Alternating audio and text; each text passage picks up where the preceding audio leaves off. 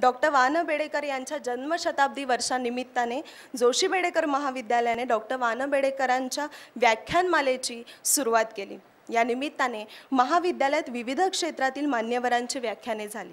Doctor Anil Avachat लेखिका माधवी घारपुरे संपादक गिरीश कुबेर माजी पोलीस आयुक्त डॉक्टर शिवानंदन सामाजिक कार्यकर्ता निलिमा मिश्रा अशा अनेक मंडळींनी आपली व्याख्यान पुष्पे पुष्पे आजवर या व्याख्यानमालेत गुंफली आहेत. सामाजिक साहित्यिक सांस्कृतिक अशा सर्व अंगांना स्पर्श करणारी ही व्याख्यानमाला आणि आज याचे सतरावे पुष्प. व्याख्यान म्हटलं की आपल्याला सर्वात महत्त्वाचे वाटतात ते शब्द. पण या शब्दांच्या मूर्त स्वरूपातून अमूर्त भावापर्यंत जर आपल्याला कोण नेत असेल तर ते म्हणजे एकमेव संगीत. संगीत हा खरं तर शब्दभाषेचा अनुवाद नसतो तर संगीत ही स्वतंत्र आणि स्वयंपूर्ण भाषा असते. आणि आज आपण या शब्दभाषेचा नाही तर सुप्रसिद्ध बासरीवादक पंडित विवेक सोनार यांच्या स्वरभाषेचा अनुभव घेणार आहोत. तत्पूर्वी मी महाविद्यालयाच्या प्राचार्य डॉक्टर सुचित्रा नाईक मॅडमना विनंती करते की त्यांनी प्रमुख पाहण्या पाहुण्यांचं स्वागत करावं.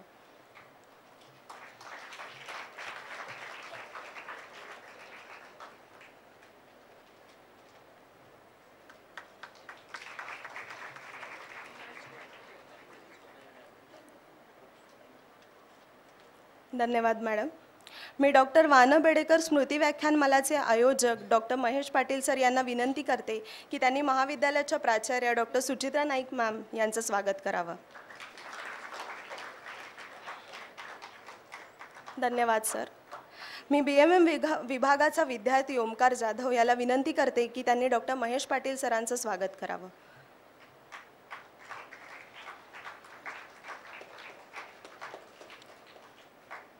धन्यवाद ओमकार. मी महाविद्यालयाच्या प्राचार्य डॉक्टर सुचित्रा नाईक मॅडमना विनंती करते की त्यांनी दोन शब्द विद्यार्थ्यांशी संवाद साधावा.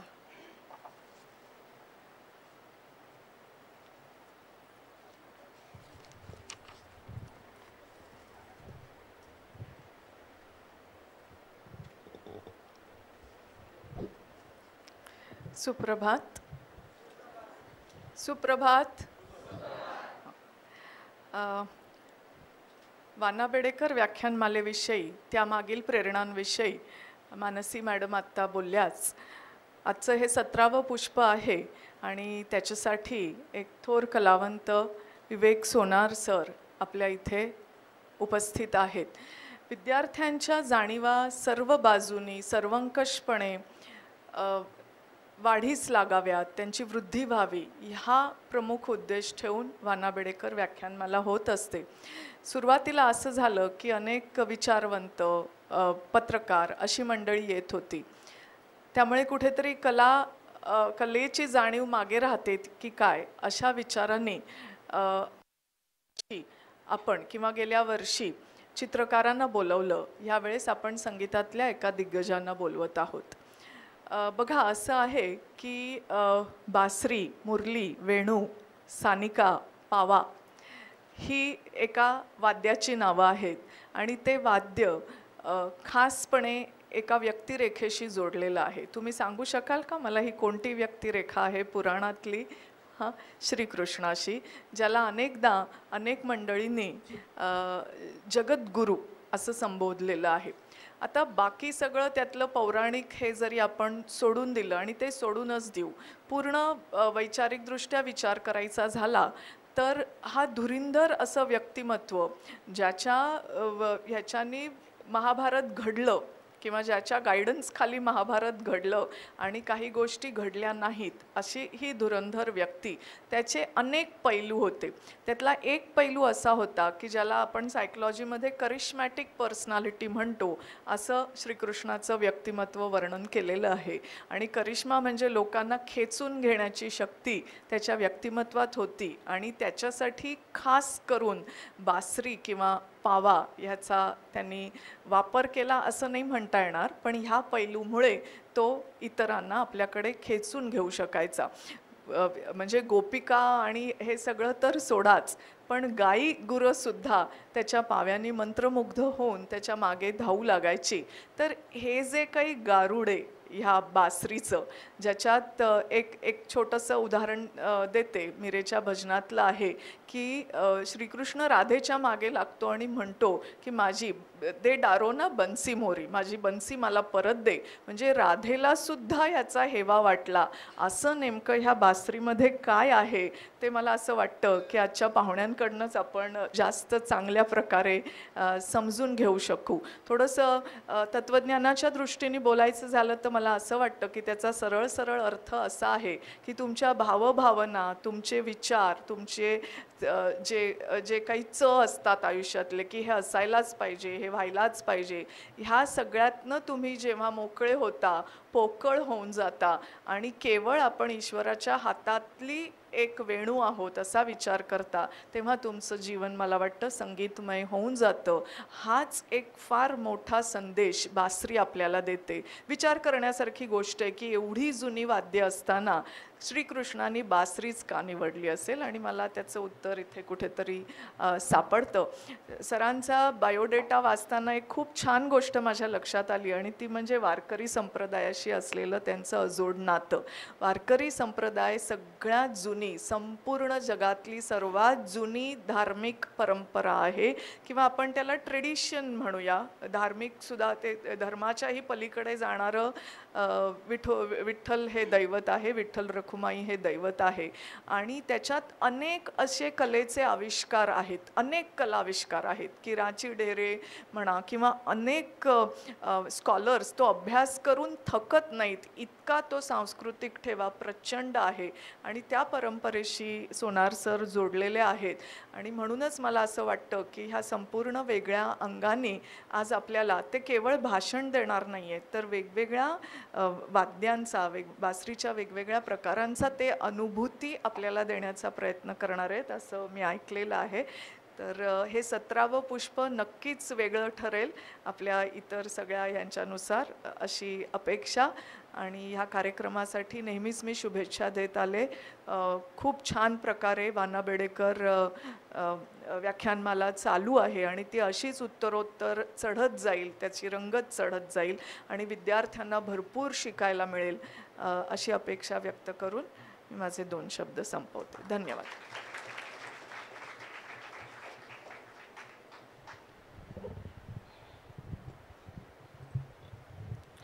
धन्यवाद मॅडम. पुष्प. पुष्प म्हणजे काय? तर ज्याच्या अस्तित्वाने आसपासचा परिसर हा सुगंधित आणि चैतन्यमय होऊन जातो. आणि असे अनेक पुष्प की जे या व्यासपीठाला लाभले. त्यांच्या सुगंधाने आणि त्यांच्या अस्तित्वाने त्यांनी इथला व्यासपीठ अर्थात चैतन्यमय करून टाकला. आज या पुष्पाचं आज या व्याख्यानमालेचं सतरावं पुष्प. पद्मविभूषण पंडित हरिप्रसाद चौरसिया यांचे लाडके शिष्य म्हणून सर्वांना परिचित असलेले सुप्रसिद्ध बासरीवादक विवेक पंडित विवेक सोनार यांचा जन्म जळगाव जिल्ह्यातील चाळीसगाव इथला. लहानपणीच संगीताचं बाळकडू वडिलांकडून मिळालं आणि वयाच्या आठव्या वर्षी आवड म्हणून बासरीवादनाची सुरुवात झाली. पंडित श्री पुरुषोत्तम अंतापूरकर यांच्याकडे सात वर्ष बासरीवादनाचे शास्त्रोक्त शिक्षण घेतल्यानंतर सखोल ज्ञानासाठी पंडित हरिप्रसाद चौरसिया यांच्याकडे शिक्षणाची सुरुवात झाली. पंडितजींनी पुणे विद्यापीठातून वाणिज्य शाखेतून पदवी घेतली आहे.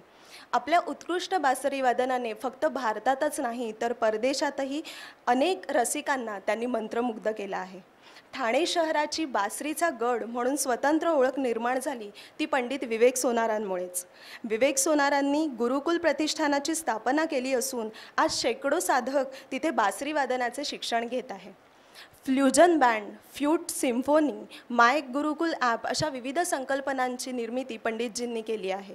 तसेच Vivek music solution private limited या कंपनीचे फाउंडर आणि डायरेक्टर म्हणून ते भूमिका बजावत आहेत. नॅशनल स्कॉलरशिप युवा गौरव ठाणे गुणीजन पी सावळाराम पुरस्कार पंडित राम मराठे पुरस्कार अशा विविध पुरस्कारांनी पंडितजींना सन्मानित केले आहे. बासरीवादन. असं म्हटलं की खरंच आठवतो तो गोपीजनांचा प्रिय असा कृष्ण की ज्याने संपूर्ण विश्वाला बासरीवादाने बासरीवादनाने मोहित केलं. खरं तर बासरीचा सांगीतिक प्रवास या निमित्ताने विचार करत असताना काही ओळी सुचल्या आणि त्या सादर कराव्याशा वाटतात. वो लफ्ज़ों से नहीं सुरों से बयां होती है. वो लफ्ज़ों से नहीं सुरों से बया होती है, जब निकलते हैं दिल चीरने वाले सरगम, न जाने कैसे कानों को छूने से पहले वो अल्फाज बन जाते हैं यूँ ही। मामूली सी हवा तो है मामूली सी हवा तो है पर गुजर जाती है बासुरी से इस कदर। मैफिल बन जाती है यूं ही। आणि आज अशीच मैफिल इथे रंगणार आहे. त्यामुळे मी पंडित विवेक सोनारांना विनंती करते की त्यांनी ही मैफिल रंगवावी. नमस्कार. आज डॉक्टर वाना बेडेकर स्मृती व्याख्यानमालेमध्ये मला संगीत आणि बासरीचा प्रवास या विषयावर बोलण्यासाठी बोलवल्याबद्दल आपल्या principal madam doctor Sucheta ji Naik त्यानंतर डॉक्टर महेश पाटील या सर्वांचा मी आणि संस्थेच्या सर्व कमिटी मेंबरचा आभारी आहे. आजचा विषय जो आहे संगीत. आणि बासरीचा संगीतमय प्रवास. म्युझिकल जर्नी ऑफ फ्लूट और बांसुरी. मी माझा विषय सुरू करण्या अगोदर आपल्या लाडक्या प्रिन्सिपल मॅडम यांचा आज वाढदिवस आहे.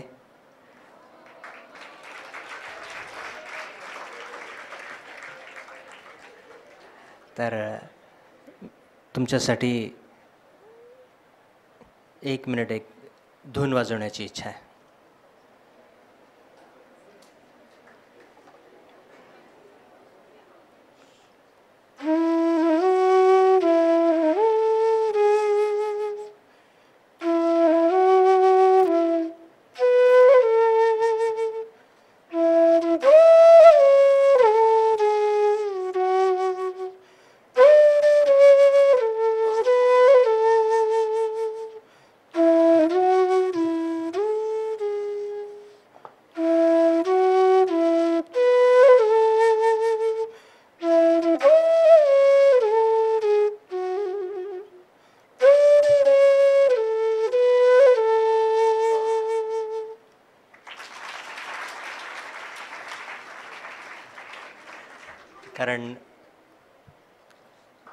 थोड्या मॅडमच्या केबिनमध्ये माझं बोलणं झालं तर त्यांना अजून बऱ्याचशा पूर्वनियोजित कार्यक्रमानुसार मधूनच जावं लागेल असेल ते मला बोलल्या होत्या. म्हटलं सुरुवातच तुमच्यासाठी एका धूनने करूया.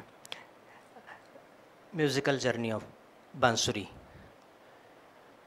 त्यापूर्वी आपण संगीत म्हणजे काय हे बघूया.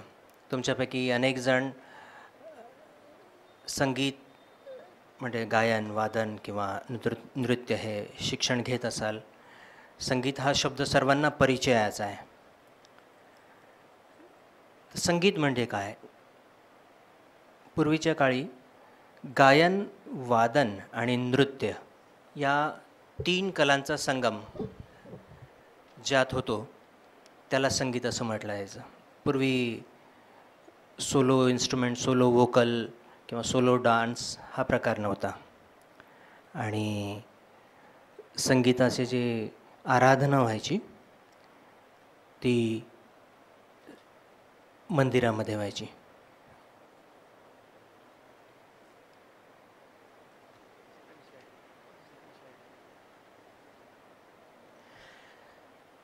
संगीत ही एक जागतिक भाषा आहे. आता आपल्या निवेदिका बोलल्यात. तर ते खरं आहे.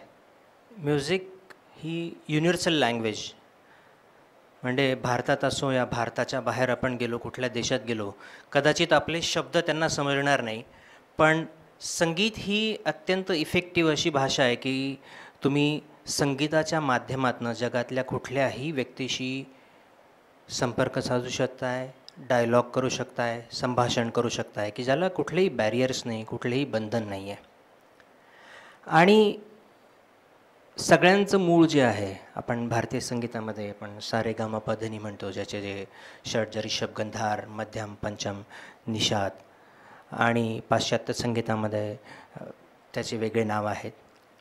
आणि शेवटी काय आपण सा म्हणतो तर ते त्याला डो म्हणतात. आपण रे म्हणतो डो रे त्या पद्धतीने त्यांची वेगवेगळी नावं आहे. आपण मी डीपली त्याच्या थिअरी पार्टमध्ये जाणार नाही. आपण बासरीकडे वळण्या अगोदर म्युझिकमध्ये काय काय आहे याचा थोडासा आढावा घेऊन पुढे जाणार. तर भारतीय शास्त्रीय संगीतामध्ये दोन संगीत पद्धती आहे. पण शास्त्रीय संगीत हे नियम बनण्या अगोदर सुद्धा फक्त स्वर होते. आणि स्वर जे आपण निसर्गातनं एक एक स्वर घेतला आहे आपल्या पूर्वजांनी. आणि त्याची शास्त्रशुद्ध रचना केली गेली. आणि हळूहळू त्याच्यात बदल होत गेले.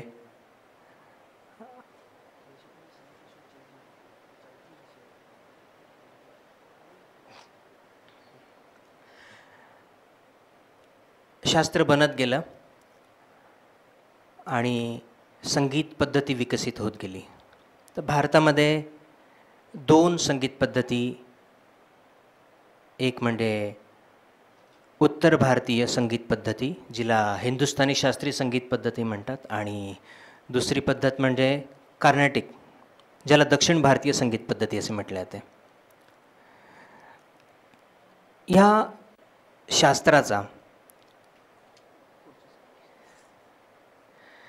हिंदुस्थानी क्लासिकल आणि कर्नाटिक क्लासिकल म्युझिक हे शास्त्र निर्माण झालं आणि भारतामध्ये अनेक परकीयांनी आक्रमण केलं आहे तसतसं आपली संस्कृतीमध्ये संस्कृतीमध्ये काही बदल होत गेले आणि संगीत या विषयात आमूलाग्र बदल होत गेले. पण ते जास्त करून उत्तर भारतीय म्हणजे हिंदुस्थानी शास्त्रीय संगीत पद्धतीमध्ये बदल होत गेले. दक्षिणचा भाग थोडासा दुर्गम होता त्यामुळे जे पण शक हुण आर्य ग्रीक मुघलपासून इंग्रजांपर्यंत जे पण आले त्यांना दक्षिण भाग तसा भौगोलिकदृष्ट्या दुर्गम असल्यामुळे जास्त डीप आज जाता आलं नाही. त्यामुळे तिथली बरीचशी संस्कृती तिथली भाषा आणि तिथलं संगीत जे प्युअर आहे असं तिकडचे लोक म्हणतात ते बऱ्याच अंशी सत्य पण आहे. पण दुसरा भाग म्हणजे हिंदुस्थानी संगीत ज्याला आपण म्हणतो उत्तर भारतीय संगीत त्यात ज्या परकीयांनी आक्रमण केलेत त्यामध्ये प्रत्येकाने संगीत भारतीय संगीत शिकण्याचा प्रयत्न केला. आणि कुठलीही राज्यव्यवस्था असो कुठलंही सरकार असो किंवा राजेशाही आपण इतिहासात गेलं तर प्रत्येक कालखंडामध्ये संगीत हे अत्यंत मोलाचं काम बजावत असतं.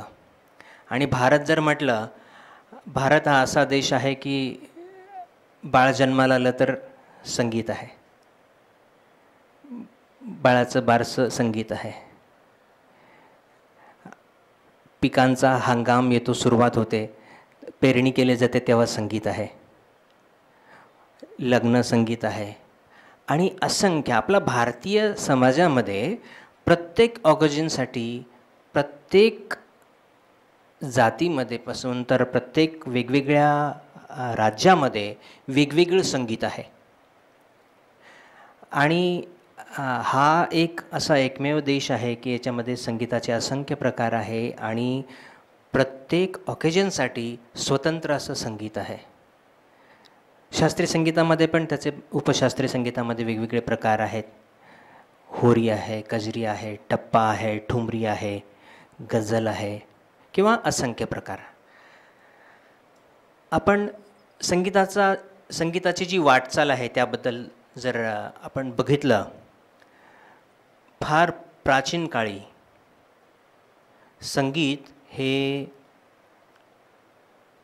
मंदिरासाठी म्हणजे मंदिरात देवासाठी देवाचे स्तुती करणारे त्यावेळेस बंदिशी रचना म्हणता येईल आपल्याला.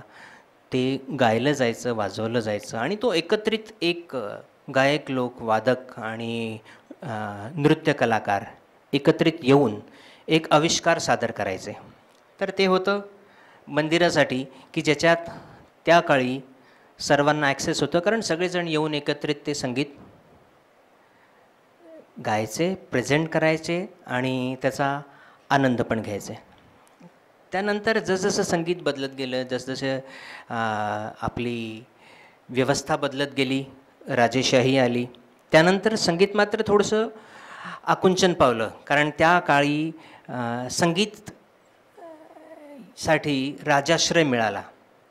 म्हणजे राजाच्या दरबारामध्ये गायक वादक हे संगीत कला प्रेझेंट करू लागले. म्हणून राजगायक किंवा राज दरबारातील वादक म्हणून काही कलाकार तिथे राहायला लागले संगीत साधना करायला लागले. पण त्या काळामध्ये जर आपण एक दुसऱ्या अंगाने विचार जर केला तर access to very few people कारण राजदरबारामध्ये कोणाला एंट्री होती? मोजक्याच लोकांना. आणि वर्षातनं काही असे फार मोजके ऑकेजन होते की जिथे सर्वसामान्यांनासुद्धा संगीताचा आनंद घेता येत होता. आणि राज दरबार हे एक प्रतिष्ठेचं असं स्थान संगीतासाठी मानलं गेलं त्या काळी. रादर आजही मानलं जातं. आणि दरबारातील गायक म्हणून अनेक नामवंत आपले गायक आहेत. त्यातलं एक नाव सर्वांनाच माहिती आहे. कुठलं नाव? तानसेन. बरोबर. तर तानसेन हे नाव संगीतातील आणि जे संगीत क्षेत्रात काम करत नाही अशा प्रत्येक माणसाला भारतातल्या प्रत्येक माणसाला तानसेन हे नाव माहिती आहे. कारण त्यांनी आपल्या संगीताच्या जोरावर अनेक आविष्कार अनेक चमत्कार केलेत. तर ती साधना आणि ती स्वरांची जादू होती. त्यानंतरचा आपण संगीताचा जर प्रवास बघितला म्हणजे त्या काळामध्ये एक मुठभर लोकांपर्यंत संगीत पोचत होतं त्याचं ज्ञान मुठभर लोकांना मिळत होतं त्याचा आनंद मुठभर लोकांना घेता येत होता. त्याचा पुढचा प्रवास सुरू झाला. काही तो प्रवास थोडासा संगीत क्षेत्रातला एक थोडासा खराब काळ त्याला मानला जातो. की काही राजे जे व्यसनाधीन होते त्यांनी संगीत वेगळ्या दिशेला न्यायला सुरुवात केली. संगीताचे ते चाहतेच होते पण त्यानंतर कोठी कोठ्यांमध्ये संगीत गेलं जिथे संगोपन होत राहिलं. पण संगीताचं संगोपन हे पुरातन प्राचीन काळापासून आजपर्यंत चाललंच आहे. तर त्या कोठ्यांनी पण फार मोठं काम केलं आहे संगीत जगवण्याचं. पण तो पण काळ असा होता access to very few people फार कमी लोक तिथे कोठ्यांमध्ये जात होते. कारण ते अप्रतिष्ठेचं काम होतं. तिथे जाणं म्हणजे प्रतिष्ठेचं मान मानलं जायचं नाही. त्यामुळे कोठीमध्ये संगीत पण तिथेसुद्धा असंख्य दिग्गज गायक गायिका आणि वादक यांनी संगीतामध्ये खूप आपलं योगदान दिलं आहे आणि ते पुढच्या पिढीपर्यंत संगीत नेलेलं आहे. आणि आत्ताची आपण स्थिती जर म्हटली की presently music accessible to everyone easily आजचा जो काळ आहे हा संगीतासाठी पुन्हा आपण सुवर्णकाळ म्हणता येईल. म्हणजे तानसेनजी यांचा काळ काळसुद्धा संगीतासाठी सुवर्ण काळ मानला जातो कारण त्या काळामध्ये तानसेनजी आणि त्यानंतर अनेक पिढ्या किंवा त्यांचे गुरुपासून तर असंख्य दिग्गज कलाकार तयार झाले आणि त्यांनी पिढ्या घडवल्या. त्या पिढींपासूनच आमच्यापर्यंत संगीत आलं आहे आणि आज ते काम इंटरनेटमार्फत टेलिव्हिजनमार्फत सर्वदूर पोचलं आहे म्हणजे भारतात बसून आपण परदेशात चाललेले कार्यक्रम बघू शकतो आहे यूट्यूबचे माध्यम असतील किंवा आणखीन वेगवेगळे माध्यम आहे. सर्व सोशल मीडियावरनं संगीत हे आज घरोघरी पोचले म्हणजे आज जर तसं म्हटलं तर आज संगीताचा सुवर्णकाळ आपल्याला नक्कीच मानता येईल की जिथे रिस्ट्रिक्शन नाही आहे की तुम्हाला संगीत शिकता येईल किंवा तुम्हाला करता येणार नाही. किंवा पूर्वी एक समज होता की ज्याला करिअर बनवायची एक ज्याला संगीतात काही करायचं आहे आणि करिअर करायचं तर सगळ्यात पहिले घरूनच त्यांना नकार असायचा. माझ्या बाबतीत मी त्यामाने फार भाग्यशाली आहे की ज्यावेळेस मी माझ्या घरी आईवडिलांना सांगितलं की मला बासरीमध्ये करिअर बनवायची आणि मी गुरुजींकडे म्हणजे पंडित हरिप्रसादजी चौरसे जाऊन पहिले भेटून आलो होतो आणि त्यांनी सांगितलं त्यांनी होकार दिला. मी त्यावेळेस सगळं सोडलं आणि चाळेगाव सोडून मुंबईला आलो. पण माझ्या घरच्यांनी कारण वडील माझे गायक होते वारकरी संप्रदायातले भजन कीर्तन करणारे गायक असल्यामुळे त्यांना संगीताची जाण होती आणि त्यांना बालपणी त्यांना गायन शास्त्रोक्त पद्धतीने शिकण्याची इच्छा होती. ती ते परिस्थितीमुळे आणि आमच्या आजोबांच्या विचारांमुळे की संगीत शिकून काय करायचं आहे आणि शेवटी त्याच्याने काय मिळणार? म्हणजे घर कसं चालणार? हा फायनली तोच प्रश्न. तर त्यांना ते शिक्षण घेता आलं नाही. त्यामुळे त्यांनी मला सांगितलं की मला घेता नाही आलं पण तू करण्याची इच्छा आहे तू कर माझा पाठिंबा आहे. आईला पण हार्मोनियम शिकण्याची इच्छा होती जे तिला लहानपणी करता येणं शक्य नव्हतं. त्यामुळे आई वडील दोघांचा पाठिंबा मिळाला. पण माझ्यासारखा भाग्यशाली फार कमी लोक असतात. अनेक जणांना घरूनच म्हणजे कोणाला डान्स करायचा आहे कारण माझे काही मित्र किंवा अगोदरच्या पिढीतले काही जणांशी मी बोलतो तर त्यांच्याकडनं कळतं डान्स शिकायचं तू तुला नाचून काय कोठ्यावर नाचायचं आहे का? हा शब्द निदान आमच्या गावाकडे तर फार वापरात त्या काळी होता. त्यामुळे डान्सवर तर फार बंधनच होते. आणि वैयक्तिक माझ्या बाबतीत जर म्हटलं माझ्या घरच्यांना कधीच प्रॉब्लेम नव्हता. पण माझ्या नातेवाईकांमधले काही जण किंवा मित्रमंडळीसुद्धा की सांगायचो मी इतक्या वर्षापासून चौरस्यांकडे अच्छा मग ते म्हणतं ठीक आहे ओके मग अजून किती वर करशील? आता काहीतरी कामधंदा बघ असे म्हणायचे. आता कोणी मला म्हणत नाही कामधंदा बघ म्हणून नोकरी कर म्हणून कर. कारण मी कधी नोकरी केली नाही. सुरुवातीला दोन वर्ष फक्त इंडियन एक्सप्रेसमध्ये होतो. सर्क्युलेशन डिपार्टमेंटला तेवढंच. असो. तर पुन्हा या विषयाकडे की संगीत आज अगदी इझी झालं आहे शिक शिक्षण म्हणा किंवा त्याचा आनंद घेण्यासाठी म्हणा वेगवेगळे म्युझिक फेस्टिवल म्हणा. पहिले मोजके संगीत समारोह होते भारतामध्ये.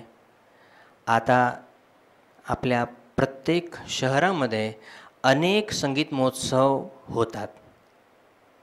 आणि हे संगीत महोत्सव खूप मोठं काम करत आहे रसिकांची जी संगीत ग्रहण करण्याची जी भूक आहे ते भागवण्याचं काम हे संगीत महोत्सव करत आहेत आणि असंख्य पिढ्या घडवण्याचं काम पण संगीत महोत्सव करत आहेत आणि नक्कीच आजचा काळ सुवर्णकाळ मी याकरता म्हणतो की याच्यातलं फेस्टिवलचं प्रमाण वाढलं आहे याच्यातलं संगीताकडे एक बघण्याचा दृष्टिकोन ह्या काळात बदलला आहे पालकांचाही बदलला आहे आणि आज मला आनंद होतो आहे की कायम तरुण वर्गावर म्हणजे कॉलेजमधल्या विद्यार्थ्यांवर एक आक्षेप घेतला जातो की ते जास्त करून पॉप म्युझिक आणि वेस्टर्न म्युझिक ह्या ह्या विषयाकडेच त्यांचा कल असतो. पण आज इतक्या मोठ्या संख्येमध्ये तुम्ही सर्वजण संगीत या विषयावर बासरी या विषयावर जमलेले आहात त्याबद्दल तुमच्या सर्वांचं मी आभार आणि धन्यवाद.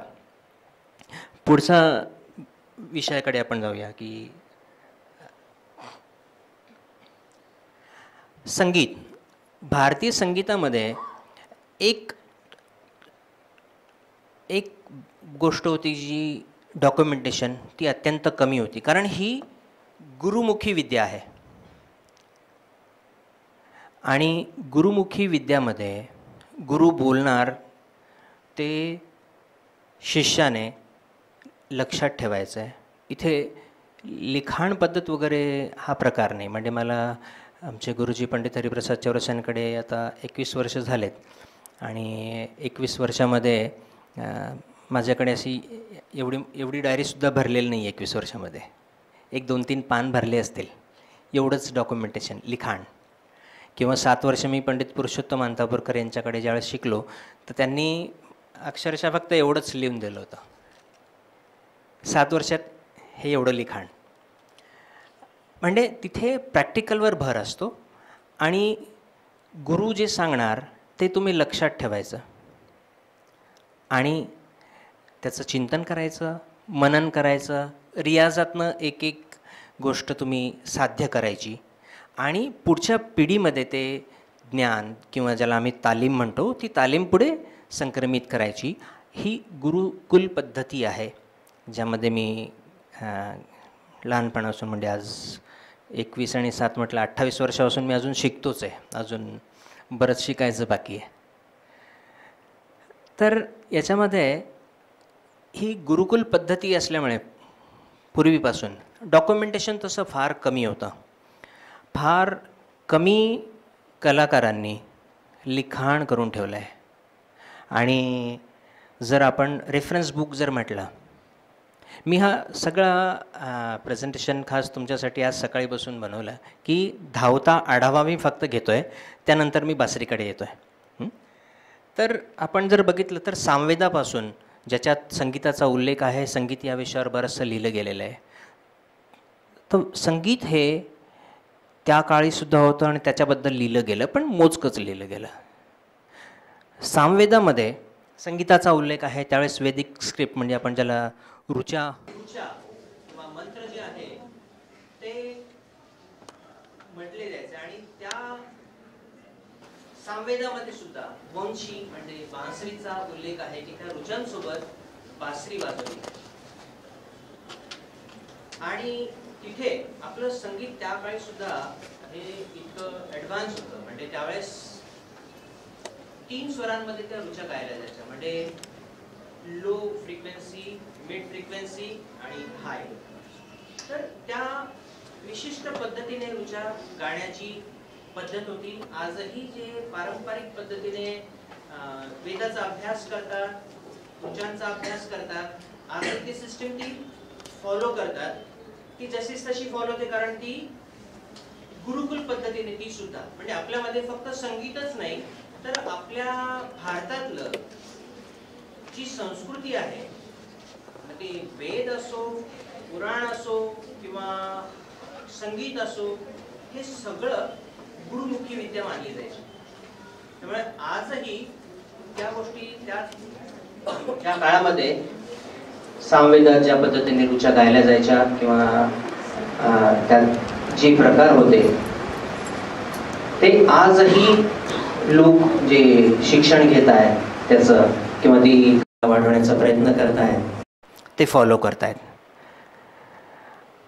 संगीताच्या बाबतीत आणखीन काही महत्त्वाचे पुस्तक आहेत. मोजकेच पुस्तकं आहेत की जे सर्व आम्ही कलाकार लोक रेफरन्ससाठी कधी बघतो की जे संस्कृतमध्ये या उपलब्ध आहेत त्यात संगीत रत्नाकर आहे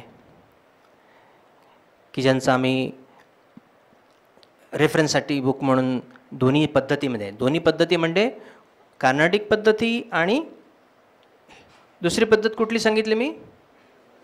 हिंदुस्थानी. हिंदुस्थानी आणि कर्नाटिक संगीत पद्धतीमध्ये त्यांना रेफरन्स बुक म्हणून मानलं जातं. त्यानंतर गीत गोविंदो हे एक आणखीन आहे. त्यानंतर आपल्या भारतामधील काही राजे जे संगीतप्रेमी होते ज्यांनी संगीतावर अभ्यास केला त्यांच्यावर ग्रंथ लिहिले तर काही मोजके राजे आहे. त्यानंतर मुघल साम्राज्यामध्ये आपल्या भारतीय शास्त्रीय संगीतामध्ये खूप भरीव योग योगदान झालं आहे आपल्या संगीतामध्ये. त्यात आपले शैली जी बदलली. म्हणजे पूर्वी आपल्याकडे ध्रुपद शैली होती. ध्रुपद धमार जे म्हणजे मंदिरात गायलं जातं देवाच्या स्तुतीपर त्याच्या रचना असायच्या. आणि ते मोठं गीत असायचं. त्यानंतर खयाल पद्धती विकसित झाली ही मुघल काळामध्ये. तर त्यांचं हे नक्कीच आपल्या संगीतामधलं हे योगदान आहे. आणि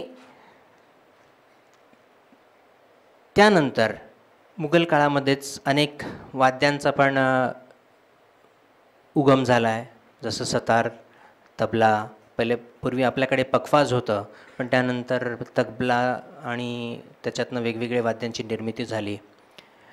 आणि ह्या सर्व वाद्यांमध्ये सर्व शास्त्रीय गाण्यामध्ये अनेक बदल होत गेले. आणि त्यानंतर सगळ्यात मोठं काम अलीकडच्या काळामध्ये दोन व्यक्तींनी केलं आहे एक म्हणजे पंडित भातखंडेजी. कारण आपल्या भारतीय शास्त्रीय संगीतामध्ये वेगवेगळी घराणी जन्माला आली. वेगवेगळ्या घराण्यामधले जे दिग्गज लोक होते त्यांनी कुठलीही गोष्ट लिहून ठेवली नाही. कारण आपली बंदिश दुसऱ्याने गाऊ नये. दुसऱ्या व्यक्तीला आपलं बोल आपला रियाज आणि आपले प्रकार कळू नये त्यासाठी प्रेझेंटेशन करताना कार्यक्रमातसुद्धा शब्दांचा उच्चार मुद्दाम वेगळा करणे हे प्रकार असंख्य प्रकार झाले. त्यामुळे असं डॉक्युमेंटेशन केलं नाही व्यवस्थितपणे केलं नाही काही जणांनी नक्कीच केलं.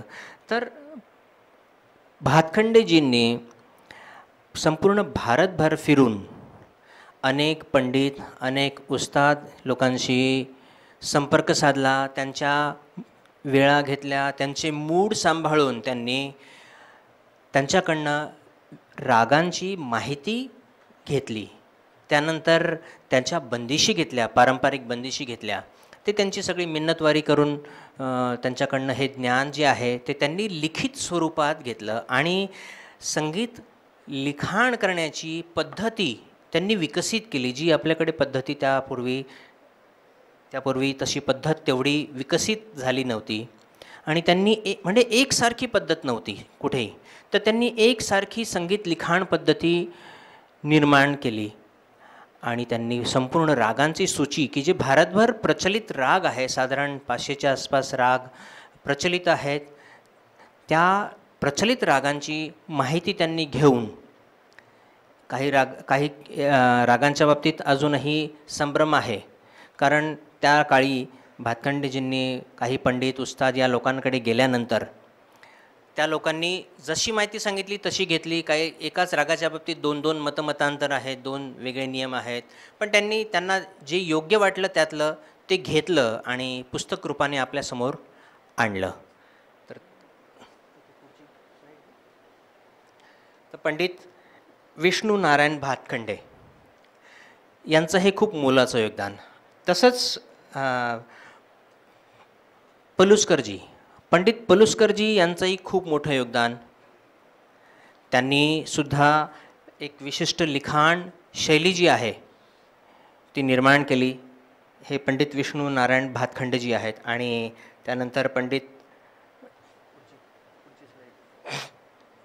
पंडित विष्णू दिगंबर पलुस्कर. आपल्याला गंधर्व महाविद्यालय हे नाव प्रचलित असेल ऐकलं असेल. याची स्थापना पलुस्करांनी एकोणीसशे एकमध्ये केली. आणि त्यांना तुम्ही रघुपती राघव राजाराम हे ऐकलं असेल तर त्याचं ओरिजिनल व्हर्जन जे आहे ते पलुस्करांनी रचलेलं त्याचं ओरिजिनल व्हर्जन आहे. त्यानंतर आपण पुढचा पुढच्या स्लाईडकडे जाऊया. आता आपण बासरीकडे जाऊया. हा मी एक संगीताचा प्रवास सांगितला तुम्हाला. आणि त्यानंतर बासरीकडे जाऊया. बासरी जसं आपल्या मॅडम बोलल्यात आणि निवेदिका मॅडम त्या पण बोलल्यात. बासरी म्हटलं की भारतामध्ये सगळ्यात पहिले आठवतो तो भगवान श्रीकृष्ण. बासरी हे अत्यंत प्राचीन असं वाद्य आहे. रादर सर्वात जुनं वाद्य असं सुद्धा आपण म्हणू शकतो आहे आणि भारतामध्ये बासरी या वाद्याला एक आदर आहे सन्मान आहे आणि भारतातलं एकही गाव किंवा एकही व्यक्ती असा मिळणार नाही की ज्याला बासरी हे वाद्य माहीत नाही. तुम्ही जर विचारलं सतार कशी दि दिसते किंवा कशी असते वीणा कशी असते किंवा आणखीन वेगवेगळे वाद्य सांगितले तर कदाचित लोक ओळखू शकणार नाही. पण बासरीबद्दल कुठेही दुमत नाही. बासरीबद्दल लोकांच्या मनात कॉन्सेप्ट एकदम क्लिअर आहे. म्हणजे लोकांच्या म्हणजे लोकाभिमुख सर्व लोकांपर्यंत पोचणारं वाद्य जर कुठलं असेल तर ते आहे बासरी. आणि बासरी वेगवेगळ्या नावाने ओळखली जाते भारतामध्ये.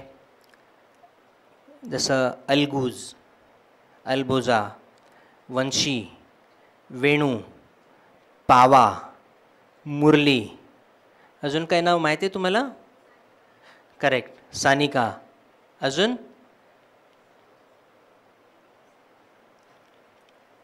बासरी. तर असंख्य नावं आहेत आणि ही बासरी वेगवेगळ्या मटेरियलपासून बनवले जाते. ते आपण नंतर नंतरच्या स्लाईडमध्ये बघणारच आहोत. पण तत्पूर्वी बासरीचा थोडासा मी इतिहास सांगतो. बासरी ही जे वाद्य आहे हे अत्यंत जुनं वाद्य आणि याची निर्मिती कधी झाली त्याचा प्रॉपर बनवणारा कोण होता याबद्दल कुठेच माहिती उपलब्ध होऊ शकत नाही. कारण हे अत्यंत प्राचीन वाद्य आहे. आणि त्याची निर्मिती ही बांबूच्या बनातच झाली आहे. एवढं मात्र फिक्स आहे. कारण बांबूच्या बनात तुम्ही आजही जर गेलात तर तिथे शीळ भरल्यासारखे वेगवेगळे आवाज येतात. त्याचं कारण असं की हे बांबू जो हॉलो बांबू म्हणजे पोकळ बांबू असतो त्याला जर छिद्र पडलं म्हणजे आता कधी कीड लागते किंवा भुंगा बांबूला छिद्र पाडतात आणि छिद्र पडल्यानंतर त्याच्यातनं जर हवा पास झाली तर एक शीळ भरल्यासारखा आवाज येतो. आणि असेच वेगवेगळे आवाज त्या बांबूच्या बनात येत असतात तेव्हाही येत होते. आणि त्या काळात आपले जे आदिमानव जे होते ते तिकडे ज्यावेळेस येत होते जात होते त्या आवाजाने कोणी वेगवेगळ्या शक्यता आहे. कोणाला भीती वाटत असेल कोणाला आनंद होत असेल कोणाला कुतूहल पण कुठून आलं या विच या आवाज कसा येतो आहे या बाबतीत ज्या कोणी आपल्या पूर्वजांनी विचार केला आहे किंवा ज्याच्या हातामध्ये एखादी तुटलेला बांबू ज्याला होल आहे आणि त्यांनी फिरवलं असेल आणि एक आवाज निघाला तर ती पहिली बासरी. आणि त्यानंतर त्या बासरीवर बरंचसं संशोधन झालं. वेगवेगळे छिद्र पाडून वेगवेगळी सूर त्याच्यातनं निर्माण केले गेले आणि ती बासरी तयार झाली आणि ती तयार होऊन भगवान श्रीकृष्णांकडे आली. त्या अगोदरच मी सांगतो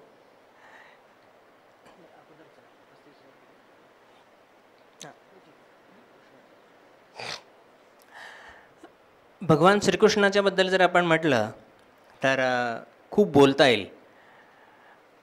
कारण तत्त्वज्ञानही सांगता येईल आणि राजकारणही सांगता येईल. या सर्व गुण संपन्न अशी असं दैवत म्हणजे भगवान श्रीकृष्ण ज्यांना आपण मानतो. आणि त्यांची लाडकी म्हणजे बासरी म्हणून आपल्या सर्वांना परिचित आहे. तर बासरी हे काय आहे? बासरी हे प्रेमाचं प्रतीक आहे.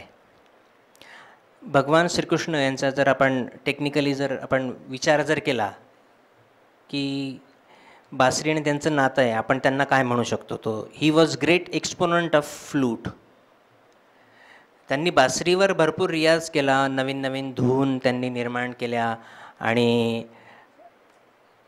त्या बासरीला भुलून गोपिका आणि सर्वच लोक भुलून आनंद घेत होते त्या काळी.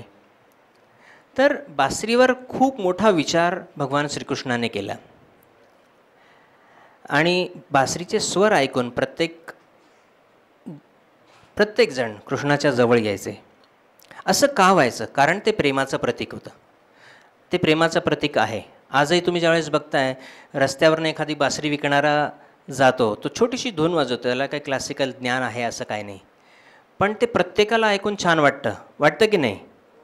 आणि तुमच्यातले पण मी जर विचारलं सगळ्यांना तर जवळजवळ प्रत्येकाने लहानपणी एकदा तरी बासरी घेतली असेल. आहे तुमच्यापैकी? सगळे कोणी घेतली नाही असं कोणी आहे? म्हणजे तुमच्यातल्या प्रत्येकाने लहानपणी कधी ना कधीतरी बासरी घेतलेली आहे. बासरी हे वाद्य म्हणजे प्रत्येकाच्या हातात कधीतरी लागलेलं आहे. तबला कदाचित घेतला नसेल. सितार कदाचित तुम्ही घेतली नसेल. किंवा कुठलं दुसरं वाद्य कदाचित घेतलं नसेल. पण बासरी हे प्रत्येकाच्या हाताशी आलेलं कारण बासरीबद्दल भारतामध्ये जर विचार केला तर अवेअरनेस हा खूप झाला आहे पण त्याचं स्थान लोकसंगीतामध्ये होतं. कृष्ण म्हटल्यावर असंख्य किस्से आहे. एक किस्सा मॅडम बोलल्या होत्या आता की राधा आणि कृष्ण.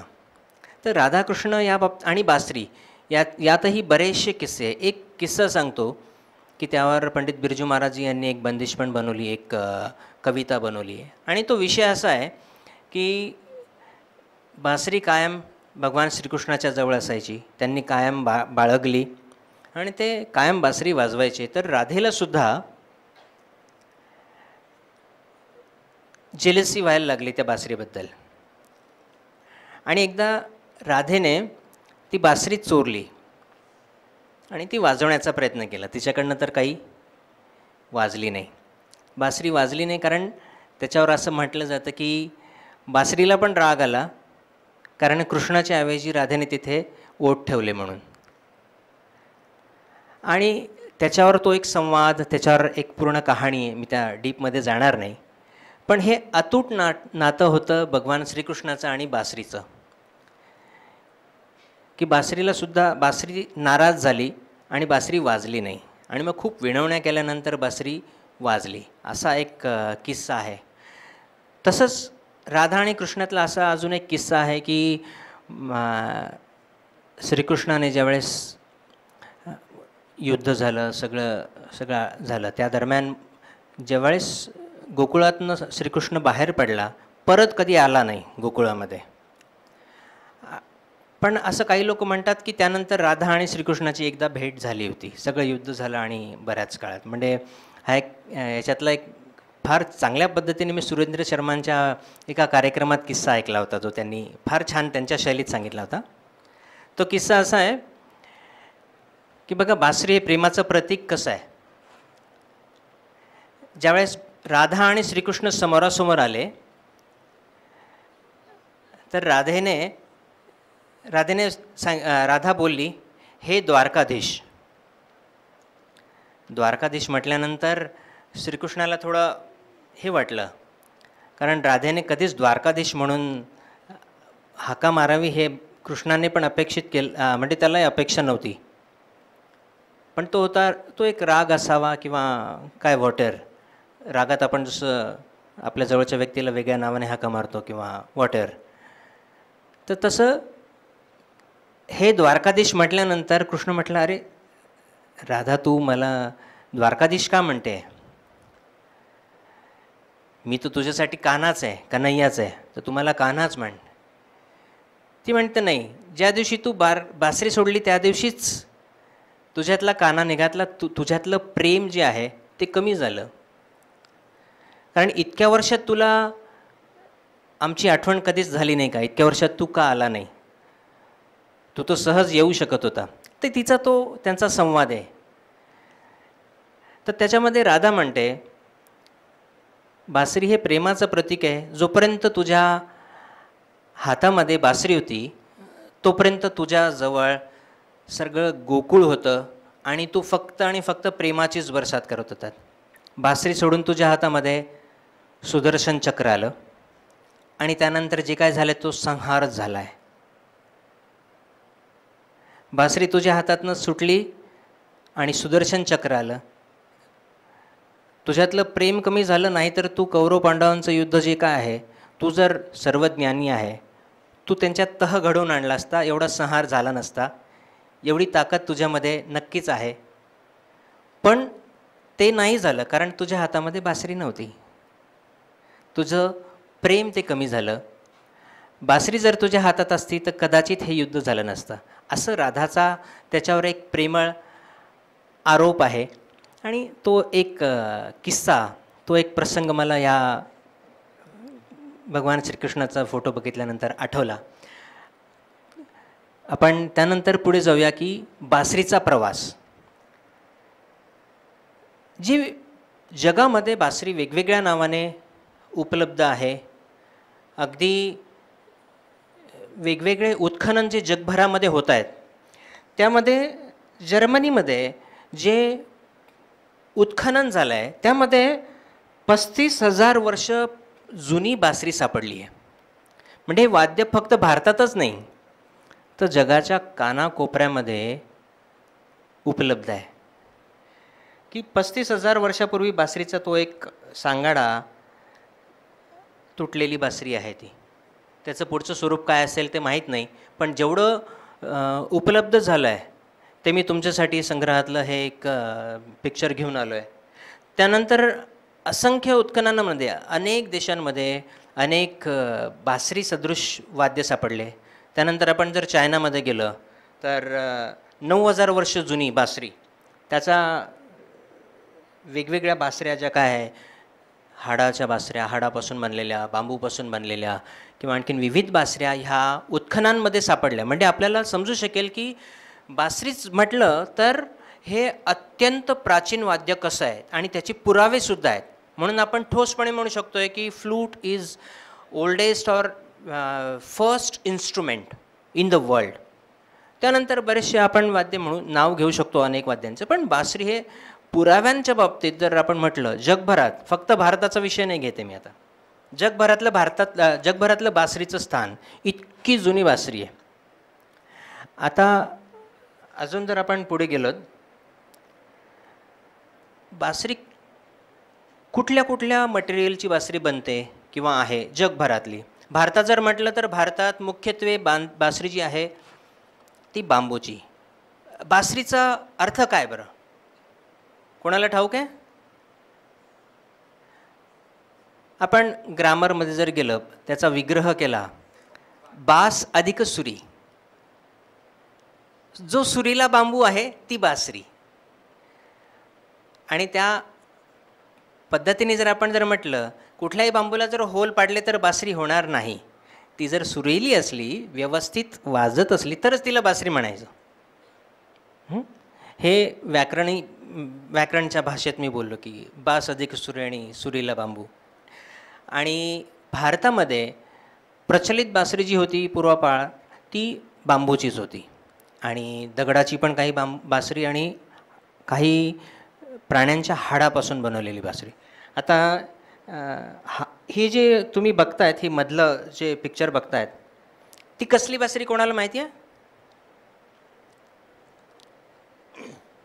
ती गाजराची आहे. आपण ते म्हणतो ना गाजराची पुंगी. वाजली तर वाजली.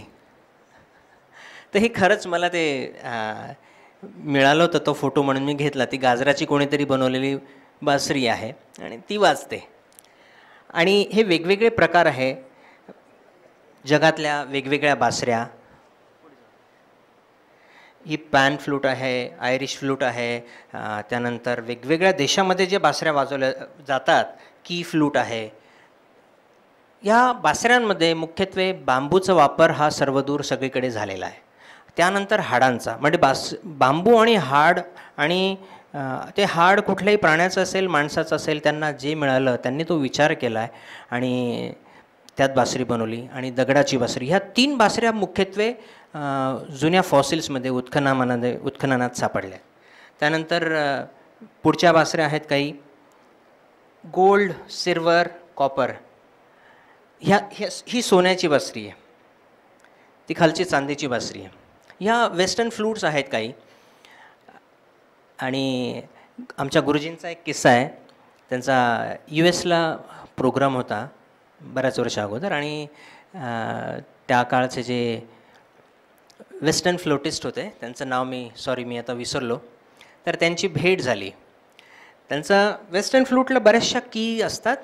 चावी असते म्हणजे ते वेगवेगळे बटन असतात आणि खूप काय काय त्याच्यात असतं आणि वेगवेगळ्या धातूची असते. तर ते गु ग्रीन रूममध्ये गुरुजी आणि ते दोघं भेटले. ते तेच गुरुजींना विचारत होते की ह्या फक्त सहा छिद्रांमधनं तुम्ही हे असं कसं काय वाजवतात की इतकं मोठं संगीत निघतं आहे कारण त्यांचं कसं आहे वेगवेगळ्या स्वरांसाठी हे दहा बोटं वापरून ते वेगवेगळे कॉम्बिनेशन करून दहा बोटांचा वापर करून ते स्वर निघाल निघतात. तर गुरुजींनी तेच त्याच्यावर त्याचं त्यांचं चाललं होतं. आणि गमतीमध्ये गुरुजी म्हटले त्यांच्याकडे गोल्ड फ्लूट होती. गुरुजी म्हटले म्हणजे आजही त्या गमतीने सांगतात की मैं उनको बोला की I would love to exchange our flutes क्योंकि बोले उनकी गोल्ड की फ्लूट थी ना मैं तो दूसरी ले लूँगा बॅम्बू की लेकिन गोल्ड की फ्लूट मुझे मिल जाती. असं गमतीमध्ये. पण तिथे ही सोन्याची बासरी चांदीची बासरी कॉपरची बासरी ह्या आजही रेग्युलरली वापरात आहे. आणि वेगवेगळ्या धातूपासून किंवा बांबूपासून दगडापासून प्राण्यांच्या बोन म्हणजे हाडापासून जी बासरी बनते किंवा लाकडापासून बनवली जाते झाडाच्या मुळापासून सुद्धा बासरी बनवली जाते. मी तुम्हाला दाखवणार आहे. ही झाडाच्या मुळापासून बनलेली वा बासरी आहे. कॅन यू बिलीव्ह अल्बोजा याला म्हणतात. तुम्ही नाव ऐकलं असेल. तर ही झाडाच्या मुळापासून ते मोठमोठे मुळं असतात आणि भारतामध्ये एक फार मोजके लोक शिल्लक आहे की ज्यांना माहिती आहे की त्या बांबू बांबू नाही सॉरी झाडाची मुळी असते आणि ती मोठमोठी मुळी असतात त्या झाडाला आणि त्याच्यापासून ते मुळी काढतात त्याला आतून ड्रिल करतात पोखरून त्याच्यामधनं बासरी बनवली जाते. ही फार पूर्वी प्रचलित होती. ही तर मी फार मोठ्या साईजची बासरी ते छोट्या छोट्या बासऱ्या त्यावेळेस उपलब्ध होत्या. ही ही भारतीय बासरी आहे सध्या आपण भारताबाहेरच्या बासऱ्यांच्याबद्दल बोलतो आहे तर ह्या गोल्ड सिल्वर कॉपर ब्रास अशा असंख्य धा धातूच्या बासऱ्या आज वापरामध्ये आहे जगातल्या वेगवेगळ्या भागामध्ये.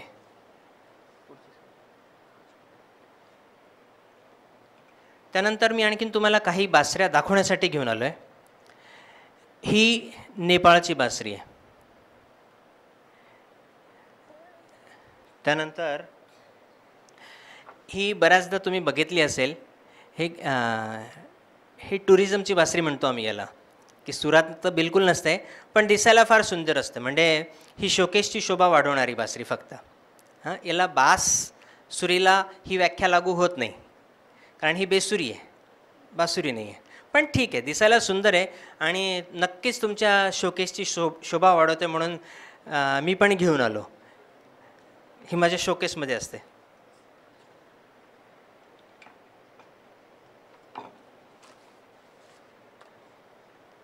त्यानंतर ही आहे एक जॅपनीज फ्लूट हां? पूर्ण हॉलो बॅम्बू आहे. हां? हे हे ह्या भागामध्ये हे लावायचं असतं आणि फुंकर मारायची आणि हे थोडं वाजवणं अवघड आहे. ही एक जॅपनीज बॅम फ्लूट आहे. ही एक बासरी याला ने ने म्हणतात ने. त्यानंतर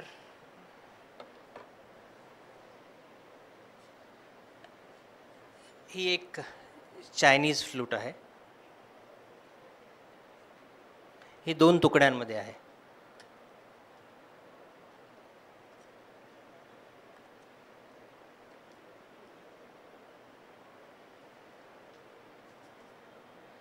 ही बासरी पण मला खूप आवडते. दिसायला सुंदर आहे. वाजवायला पण छान आहे.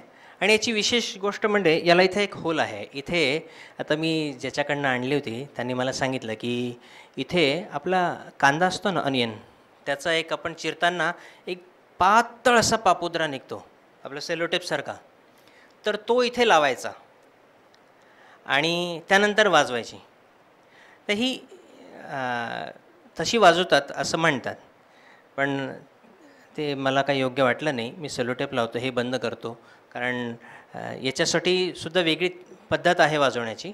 पण एक माझ्या ठेवणीतली एक मला एक आवडलेली बासरीपैकी ही एक बासरी.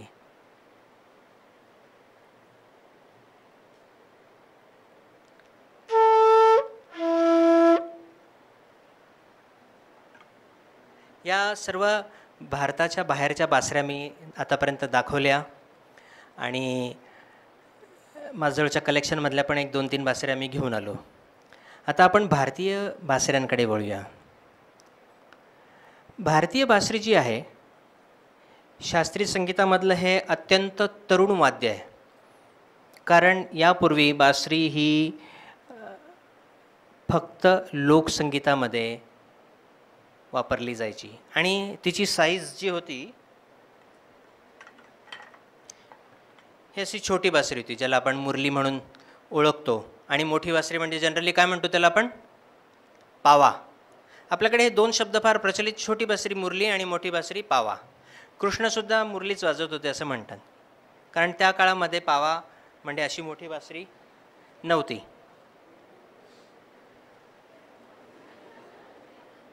ही अजून माझ्याकडे यापेक्षाही मोठी बासरी आहे. पण मी ही हीच आणली दाखवायला. ही बासरी कशी बघा? एवढी मोठी ला एवढी लांब बासरी आहे.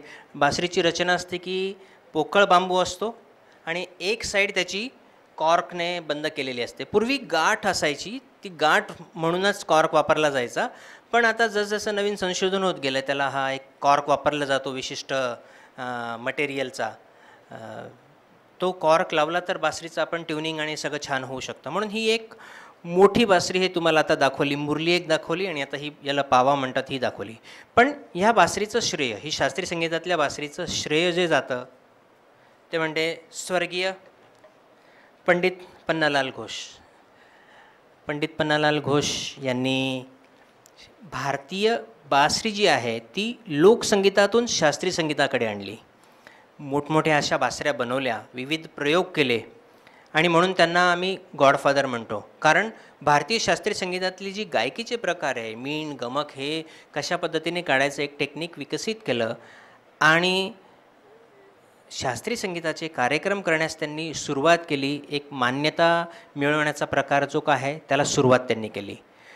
आणि त्याच्यानंतर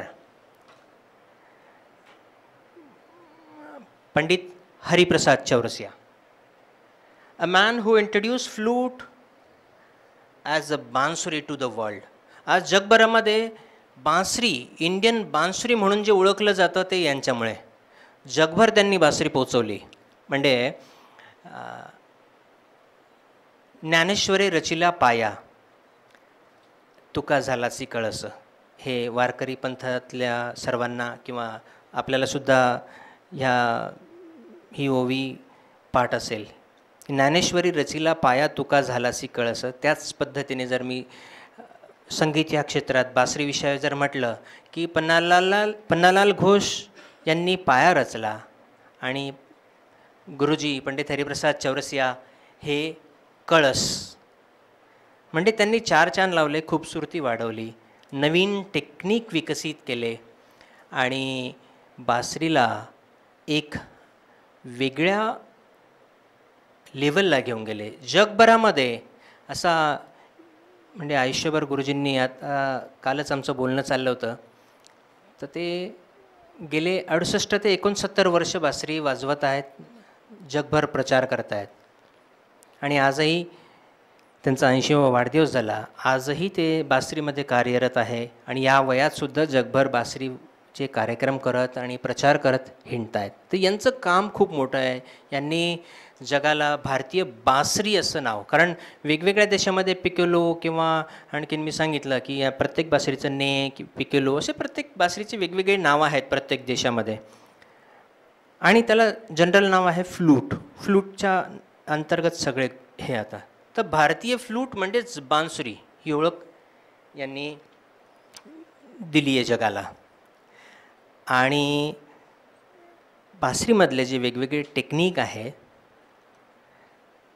गमकचे मीणचे फिंगरिंगचे याचा खूप अभ्यास करून त्यांनी तंत्र विकसित केलं. त्यामुळे आज जगामध्ये जे लोक गुरुजींकडे शिकले आहेत किंवा नाही शिकले तरीसुद्धा यांना आयकॉन म्हणतात आणि यांनाच फॉलो करतात. हे बासरीसाठीच असलेलं सर्वोच्च शिखर आहे. पंडित हरिप्रसाद चौरसिया. आणि यांनी जगभरामध्ये असंख्य शिष्य तयार केले. आणि बासरीचा प्रचार आणि प्रसार केला. आता भारतीय बासरीमध्ये मी तुम्हाला काही बासऱ्या आता फक्त दाखवतो आहे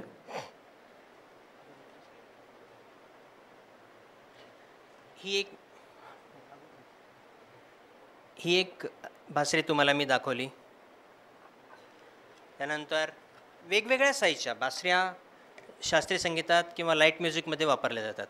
आतापर्यंत मी तुम्हाला फक्त शास्त्रीय संगीताबद्दल सांगितलं आहे आपण फिल्मी गाणे ज्याला म्हणतो आम्ही लाइट म्युझिक त्याच्यामध्ये सुद्धा बासरीचा उपयोग फार प्रभावीपणे केला गेला आहे आणि तुम्हाला आठवणीतले असे असंख्य गाणे असतील की ज्याच्यामुळे गाणं लक्षात राहतं फिल्म लक्षात राहतं जसं गीत पिक्चर असो हिरो पिक्चर असो किंवा नवीन फिल्ममधल्यासुद्धा अनेक पिक्चर जे आहेत त्याच्यातल्या सिनेमातल्या ज्या गाण्यांमध्ये बासरीचा प्रभावी वापर केला आहे तर त्यामध्ये छोटछोट्या वेगवेगळ्या बासऱ्या वापरल्या जातात. एक एक सुराच्या तीन बासऱ्या ह्या बनू शकतात ज्याला आम्ही म्हणतो मंद्र सप्तक मध्य सप्तक तार सप्तक म्हणजे आता मी तुम्हाला पांढरी तीनची ही एक स्केलची ही मोठी बेसची बासरी त्याचं फक्त वाजून दाखवतो सारेगाव पदनीचा.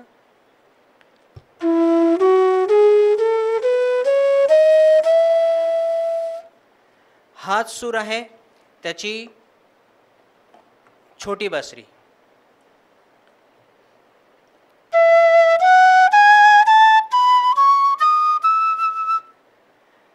तर तीन सप्तकाच्या तीन बासऱ्या मूळ बारा बासऱ्या आणि तीन सप्तक म्हटलं तर छत्तीस बासऱ्या ह्या बनू शकतात भारतीय संगीतामध्ये.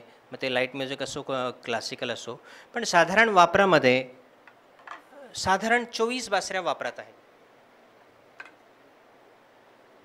ही एक अजून छोटी बासरी आणली दाखवायला तुमच्यासाठी. भारतीय बासरीमध्ये आणखीन एक बासरी ही एक काचेची बासरी. ही कॉन्सर्ट फ्लूट आहे आणि ही मी साधारण दहा एक वर्षापूर्वी बनवलेली आहे. मला बासरी बनवण्याचा छंद आहे. स्वतःसाठी मी बसऱ्या बऱ्याचशा बासऱ्या बनवल्या आणि ज्या बनवल्या त्या गिफ्ट पण केल्या. हे म्हणजे दिसायला तर सुंदरच आहे पण वाजते पण. आणि फक्त दिसणारी बासरी नाही खरंच बासरी आहे.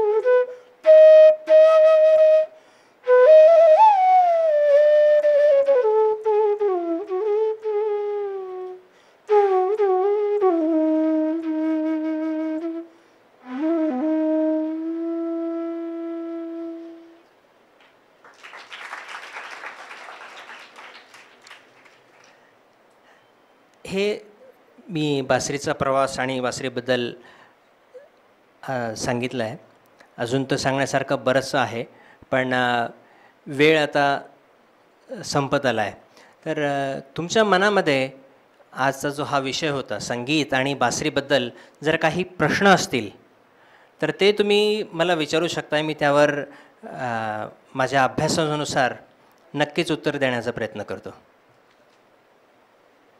कोणाला आहे प्रश्न?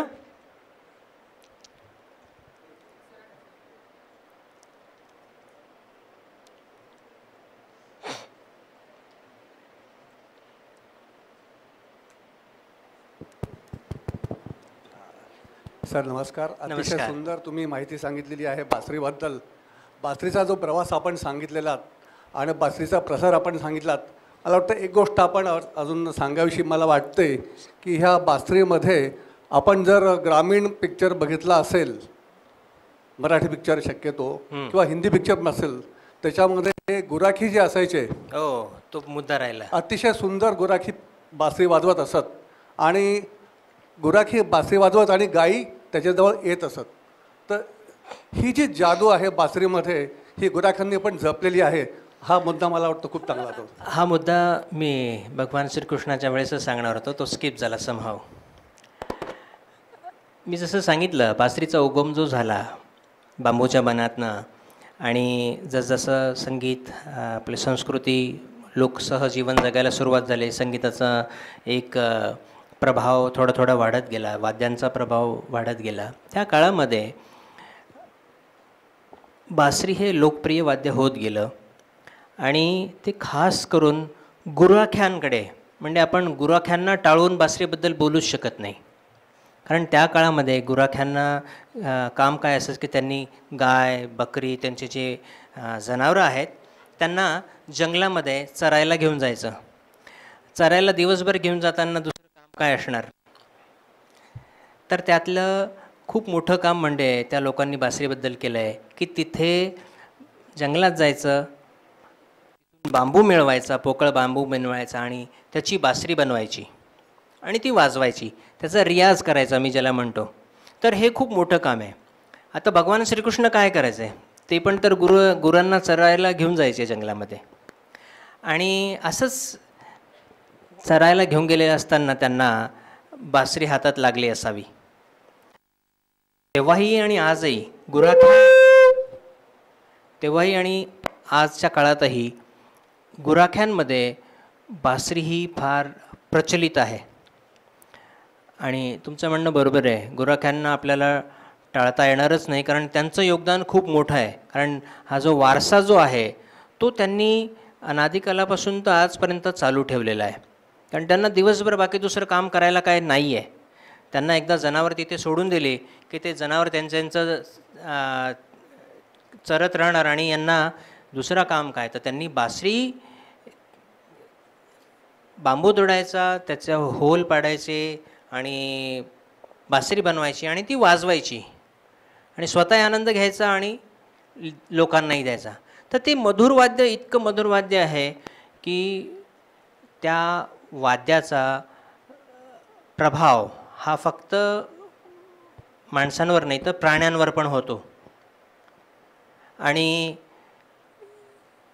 गुरं ढोरं हे जे चरायला जाणारे ते व जे जनावर असायचे तर नक्कीच त्या आवाजाने सुद्धा ते जवळ येणं किंवा कृष्णाचंच जर म्हटलं तर असे असंख्य उदाहरण तुम्ही ऐकले असतील की कृष्ण वाजवतात त्यावेळेस गाय गुरं ढोरं सगळे जनावरं हे गोपिकांसोबत आणि सगळ्यांसोबत ते लोक तिथे बसल्याने ऐकतात असे चित्र पण तुम्ही बघितले असेल. तर ही खरी गोष्ट आहे.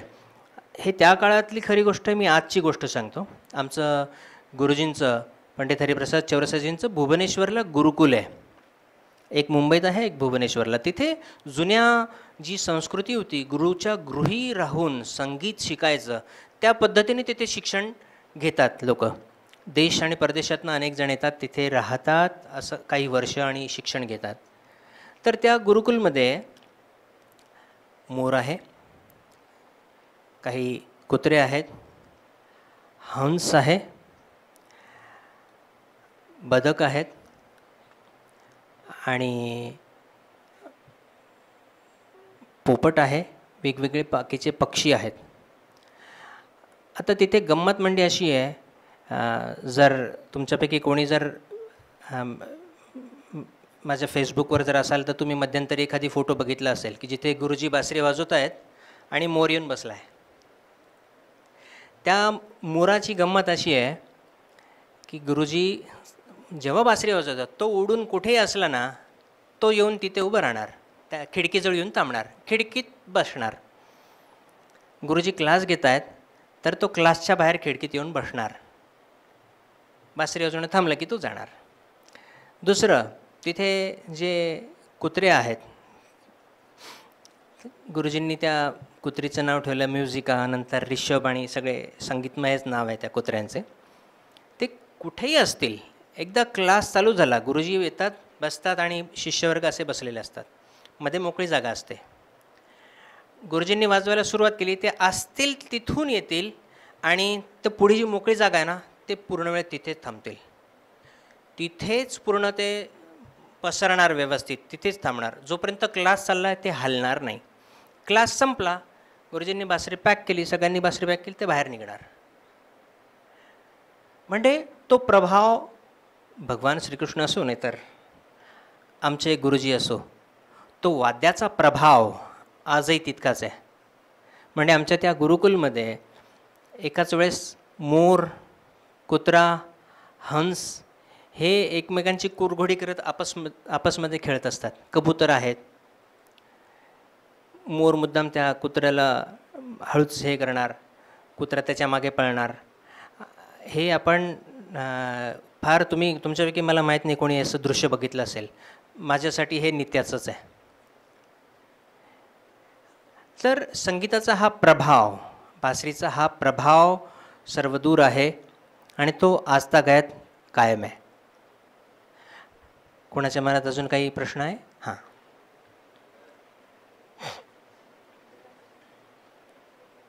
तुम्ही सांगितल्याप्रमाणे तुम्हाला बासरी बनवण्याचा छंद आहे. हां. तुमची माहिती मला आवडली. तुम्ही सांगितल्याप्रमाणे तुम्हाला बासरी बनवण्याचा छंद आहे तर त्या बासरीवर जी भोकं असतात ज्याच्यावरनं सूर निघतात. तर ते कुठल्या विशिष्ट अशा अंतरावर बनवावी लागतात असं काही असतं? बरोबर आहे. बासरी जी आहे हा पोकळ बांबू आहे त्याला आपण भोक म्हणा किंवा छिद्र म्हणा जे आपण पाडणार त्याच्यासाठी एक रॉड असतो तो गरम करून याला छिद्र पाडले जातात. त्याच्या अगोदर त्याचं मेजरमेंट जे काय आहे त्याचं डायमेन्शन त्याच्यावर मार्क केलं जातं. आणि विशिष्ट अंतरावर जर ते छिद्र आपण पाडली तरच ती बासरी व्यवस्थित सुरात वाजू शकेल. अदरवाईज मी जसं म्हटलं की याच्यात विशिष्ट अंतरावर भोक पाडलेले नाही आहेत हे मनात आले तसं किंवा सौंदर्याच्या दृष्टीने जे चांगलं दिसेल त्याच्यासाठीच फक्त हे छिद्र पाडले गेलेत. म्हणून ही सुरात नाही वाजणार. हां? तर हे जर विशिष्ट त्याचं प्रत्येक स्केल म्हणजे प्रत्येक स्वराचं बासरीचं एक डायमेन्शन आहे जे आमचे जे त्यांनी संशोधन केलं आहे पन्नालाल घोषजी आणि आणि अनेक जणांनी ते डायमेन्शन फिक्स केलेले आहेत. त्या पद्धतीने जर छिद्र आपण पाडले तरच ती बासरी बनू शकते. नाहीतर ती बेसुरी होईल. दिसायला फक्त बांबू आहे सहा छिद्र पाडले म्हणून बासरी होत नाही. अजून कोणाला आहे प्रश्न? हां. हां. संख्या फिक्स आहे.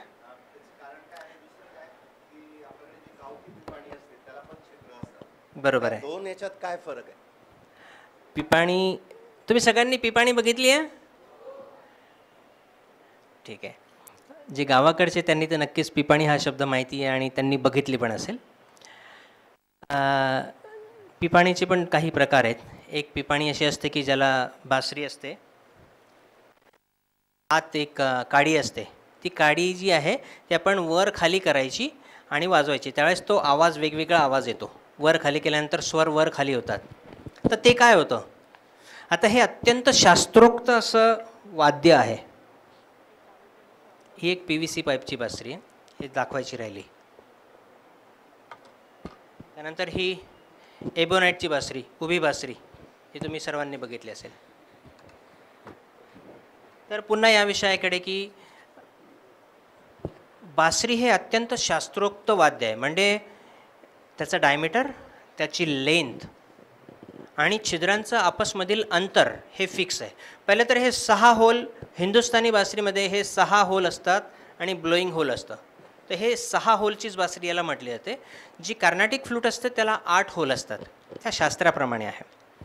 आणि ही जी छिद्र जी असतात त्याची एकमेकांपासून अंतर जी फिक्स केली गेली आहे ते म्हणजे काय? की ज्यावेळेस आपण इकडून फुंकर मारतो म्हणजे ही फुंकर मारली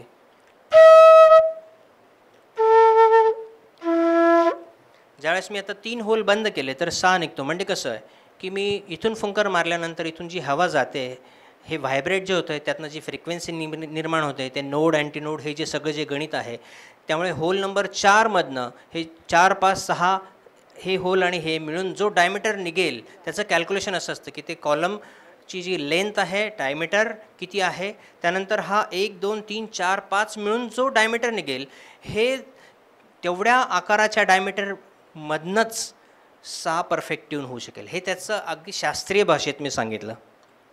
हे त्याचं शास्त्र आहे. आणि जी पिपाणी म्हणतात की जी काडीने अशी वाजवली जाते तर ते काय ते वाजवताना ते त्याला मोजकेच होल असतात आणि ते बंद करून किंवा काहींना होल नसतात. ते फक्त काडी हलवून त्याच्यातनं स्वर कमी जास्त केले जातात. तर त्याचं तंत्र आहे. विशिष्ट डायमीटरचा बांबू म्हणजे प्रत्येक स्केलसाठी. आता ही ए स्केलची म्हणजे पांढरी सहाच्या बासरीसाठी एवढी त्याची बांबूची लांबी हवी. इतका डायमीटर हवा. ब्लोईंग होल इथे लावला आहे तर त्याला कॉर्क जो आहे तो तिथून साधारण तीन मिलीमीटरच्या अंतावर अंतरावरच लावलेला हवा. आणि हे जे डिस्टन्स आहे हे डायमेन्शन आहे हे जर फॉलो केलं तरच ती सुरातली बासरी होईल.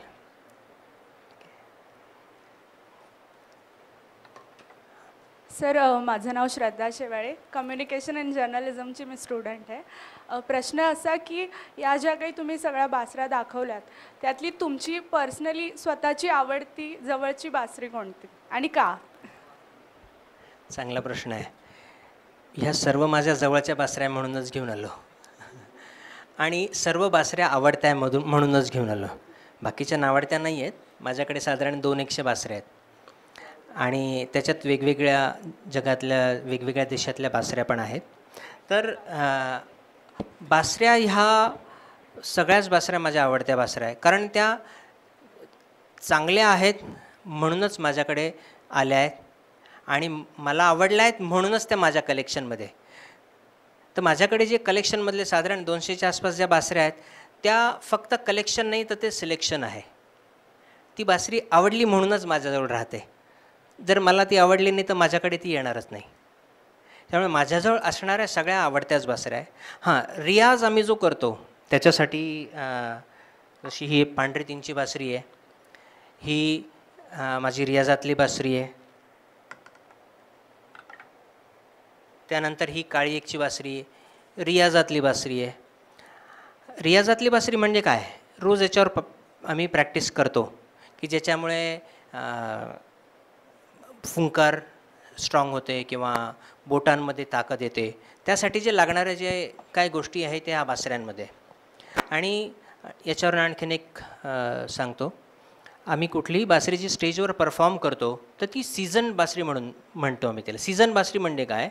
की जिने आप- आपण म्हणतो ना चार पावसाळे खाल्लेत बघितलेत. तर त्याचा अर्थ बासरीला पण तसाच आहे. की ज्याने बरेचसे वेदर बघितलेत ज्या बासरीने त्या वेदरप्रमाणे बासरीमध्ये वेगवेगळे बदल होतात. आणि ज्यावेळेस बासरी सीझन होते सीझन झाल्यानंतर बासरी एक वेगळा टोन येतो. त्यामुळे बासरी साधारण नवीन बासरी घेतली की दोन ते तीन वर्षानंतर आम्ही ती परफॉर्म करण्यासाठी वापरतो.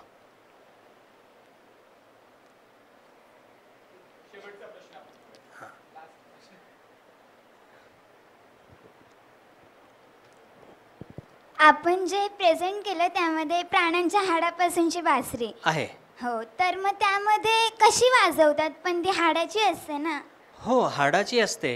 पण त्या हाडाला त्याचा आतला भाग जो पूर्ण साफ केला जातो आणि एखादी मृत जनावराचं हाड असेल ते त्याला आतून साफ केलं जातं धुतलं जातं स्वच्छ केल्यानंतर त्याला एक साईडने तर ते बंद असतं आणि होल पाडून बाकीचे जे होल जे आहेत ते त्या पद्धतीने त्या तंत्राने ते तेवढ्या डायमेन्शनवर तेवढ्या अंतरावर ते छिद्र पाडलेत की बासरी वाजणार. म्हणजे बासरीचं तंत्र इतकं सोपं आहे.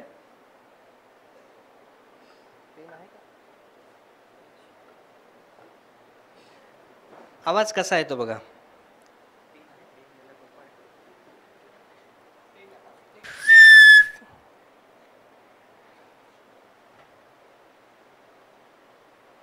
हे पेनचं टोपण आहे.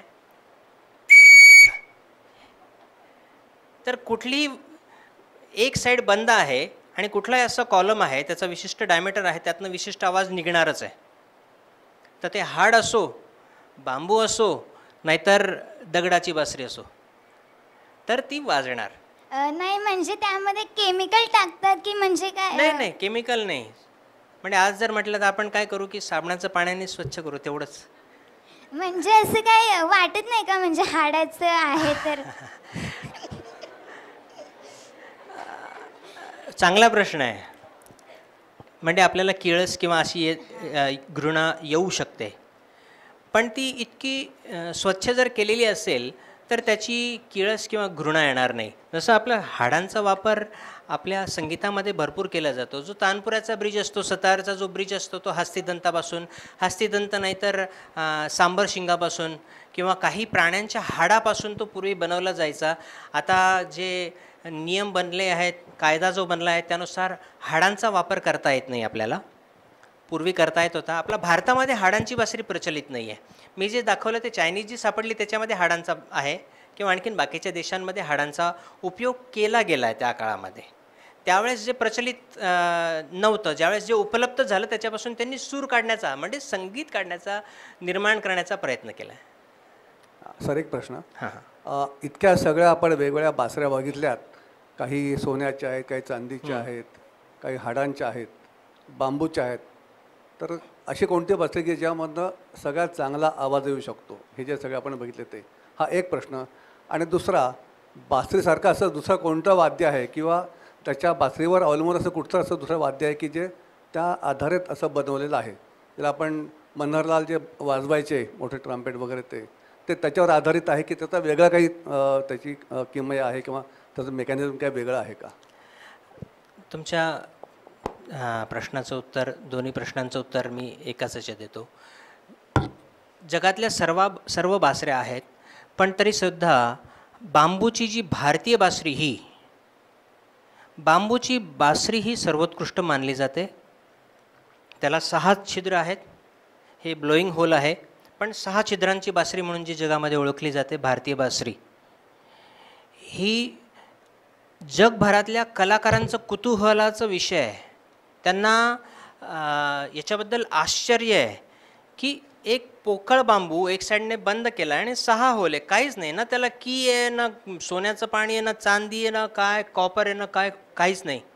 एक साधा बांबूचा तुकडा आणि त्याच्यातनं आपण जगातलं सगळं जे संगीत आहे ते ह्या बासरीवर काढू शकतो. आणि हे वाद्यच उत्कृष्ट आहे. यावर मी ठाम आहे. कारण ते उत्कृष्ट नसतं तर कृष्णाने ती वाजवलीच नसती. आयुष्यभर कृष्णाने बासरी बाळगली असं म्हणतात. काही काळच फक्त वाजवली आणि नंतर वाजवली नाही पण बाळगली सोबत ते त्या वाद्याबद्दलचं प्रेम. त्यामुळे बासरी हे वाद्य जे आहे हे वेगवेगळ्या मटेरियलचं आहे. जगभरात वेगवेगळ्या प्रकारात वेगवेगळ्या नावाने ओळखले जात आहे. पण हे एक युनिव्हर्सल वाद्य आहे की फ्लूट म्हटल्यानंतर सगळ्या जगात आढळेल. फॉर एक्झाम्पल मी तबला सतार याचं नेहमीच देतो की हे भारतीय वाद्य आहे. असं कुठलं वाद्य नाही की जे सर्व जगात सापडेल. तसं बासरी हे वाद्य आहे की सगळ्या जगात वेगवेगळ्या स्वरूपामध्ये वेगवेगळ्या डायमेन्शनमध्ये आणि त्याची निगा राखण्याची पद्धत जसं त्यांनी प्रश्न विचारला होता बा याचा हाडाच्या बासरीचा. तर प्रत्येक बासरीची निगा राखण्याची पद्धत आहे त्याची बनवण्याचं विशिष्ट टेक्निक आहे. बनवताना हा रॉ बांबू जो असतो त्याला व्यवस्थित धुतला जातो साफ केला जातो. त्याची पद्धत आणखीन बरीच आहे डीपमध्ये जाणार नाही. कारण त्याला ते काही काळ पाण्यात मिठाच्या पाण्यात बुडवायचं नंतर त्याला वाळत टाकायचं. एक दोन महिन्यानंतर तो सुकला की त्याच्यानंतर प्रोसेस करायची. ही तीन चार वर्षानंतरची जो बांबू सीझन होईल त्याची बासरी बनवायची. असं बरीच मोठी प्रक्रिया आहे. आपण डीपमध्ये जाणार नाही. आणि जशी बांबूच्या बासरीची प्रक्रिया आहे बाकीच्या इन्स्ट्रुमेंटची पण प्रक्रिया आहे. आता वेस्टर्न फ्लूट ज्या मी दाखवल्या त्या की फ्लूट असतात तर त्याचं गणित वेगळं आहे. पण त्याच्यामध्ये आणि आपल्या बासरीमध्ये आपली बासरी का सर्वोत्कृष्ट मी मानतो? मी का मी मानतो. माझं मत आहे. की फ्लूट डायमीटर त्यांना फिक्स मिळतो. एकदा त्यांनी डायमेन्शन फिक्स केले की सी स्केलची फ्लूट ही ह्याच पद्धतीने जाणार ते मशीनमध्ये टाकून त्यांची बासरी एका वेळेस ते शंभर बासऱ्यांचं दोनशे हजार दोन हजार बासऱ्यांचं प्रोडक्शन करू शकताय. बांबूमध्ये तसं नाही आहे. हा बांबू मला पांढरेतींसाठी हे डायमेन्शन आहे. पण मला पांढरेतींची अजून दुसरी बा बासरी हवी आहे. मला सेम डायमीटरचा दुसरा बांबू मिळणार नाही. त्याचा मायक्रो मिलीमीटरने डायमीटर कमी असेल जास्त असेल थिकनेस कमी जास्त असेल आतली रचना जास्त वे वेगळी असेल. त्याच्यामुळे प्रत्येक दोन सेम स्वराच्या बासऱ्यांचा टोन वेगळा येतो. आणि कलाकाराचं ते कसं असतं की जरी दोन वेगळ्या टोनच्या सेम स्केलच्या बासऱ्या आहेत तर त्याच्या टोननुसार आपण संगीत निर्मिती करणं अजून बासरीबद्दल तर बोलण्यासाठी बरंच आहे माझ्याजवळ पण वेळेस वेळेअभावी आज आपण आपल्या सर्वांतर्फे मी सरांना विनंती करतो की त्यांना आवडणारी धून त्यांनी आपल्या सर्वांसमोर सादर करावी. मला तर बऱ्याचशा धून आवडतात. सर बऱ्याचशा सादर केल्या तरी आम्हाला चालतील. नाही मला बऱ्याच जणांच्या चेहऱ्यावर दिसते की त्यांना भूक लागलेली आहे. नाही नाही नाही तसं. बासरी ऐकणं मला खात्री आहे तुमच्या बासरी वादनामध्ये सर तेवढी ताकद आहे की त्यांची भूक हरपून जाईल किंवा. पोट भरेल त्या बासरी वादनाने. नक्की. एखादी तरी धून तुम्ही नक्की नक्की वाजवणार मी तुमच्यासाठी. काय ऐकायचं इच्छा आहे तुमची? काही कोणाचे त्यांना फिल्म म्युझिक? जास्त. ते फिल्म म्युझिक अजून? वेस्टर्न सॉन्ग सगळ्यांना कळायला पाहिजे. वाजवायला मला काहीच हरकत नाही. तुम्हाला जे आवडतं ना? मी एकदा गाणे सुरू केले तर मग अनेक फरमाईश येतील पण. एक गाणं तुम्हाला आवडतं ते? कुठलंही? गाण्यापेक्षा मी अं, मी दोन दोन धून वाजवतो. एक फिल्मी धून आणि एक रागातील छोटासा भाग. एक बंदिश रागातली एवढं वाजवतो. रागातली बंदिश वाजवून संपवतो. त्या अगोदर एक धून वाजवतो. ती तुम्हाला माहिती आहे का बघा?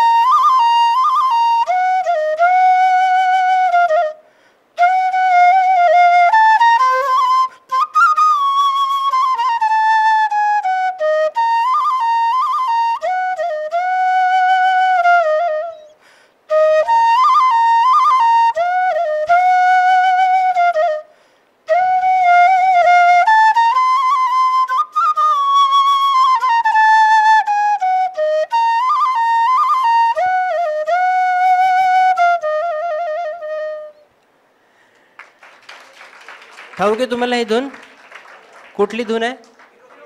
आणि ही कोणी वाजवली माहिती आहे? नाही आता मी वाजवली आहे. पण मूळ धून कोणाची आहे? ही मूळ धून आहे पंडित हरिप्रसाद चौरसे यांनी वाजवलेली. लक्ष्मीकांत पॅरेलाल जी हे धून बनवत होते. पिक्चरचं अरेंजिंग चाललं होतं आणि त्यांना असं काहीतरी हवं होतं. ते निघत नव्हतं. ते पियानो घेऊन बसले आणि चाललं होतं. नेमके गुरुजी त्यांची किट घेऊन चालले होते स्टुडिओतनं बाहेर चालले होते. तर त्यांनी बोलवलं अरे हरिजी तर इधर आइए. थोड़ा सा ये दिमाग में ऐसा कुछ है वो मैं आप कुछ सोच के देखिए आप देखिए कुछ हो रहा है क्या? गुरुजी म्हटले ठीक आहे पाच मिनटं गुरुजी बसलेत आणि त्यांनी ही धून वाज ती त्यांनी सांगितल्याप्रमाणे मग यांनी विचार केला आणि ही धून तयार झाली. आणि ही धून त्यांनी वाजून दाखवल्यानंतर ते खूप आनंदित झाले. आणि ही धून हिरो पिक्चरमध्ये वाजवली गेली. आणि तो पिक्चर आजही ह्या बासरीसाठी ह्या धूनसाठी ओळखला जातो. की ह्या धून नं नंतर त्या कुठला नवीन पिक्चर आला त्यातही ती वापरली आहे. हिरोपंथीमध्ये म्हणजे त्या धूनवरनं आणखीन हिरोपंथी म्हणून नवीन मूवी आला आहे आणि त्यात पण हीच धून थोडीशी मॉडिफाय करून वापरली गेलेली आहे. तर ही आमच्या गुरुजींची धून आहे पंडित हरिप्रसाद चौरसिया. आणि ही राग आ, शिवरंजनीवरती मेन कंपोज केली गेलेली. आहे एक राग आहे जो आपल्या सर्वांच्या परिचयाचा असेल. राग यमन नाव तुम्ही ऐकलं असेल. असंख्य गाणे म्हणजे आज जाने की जिद ना करो घर से निकलते ही त्याच्यानंतर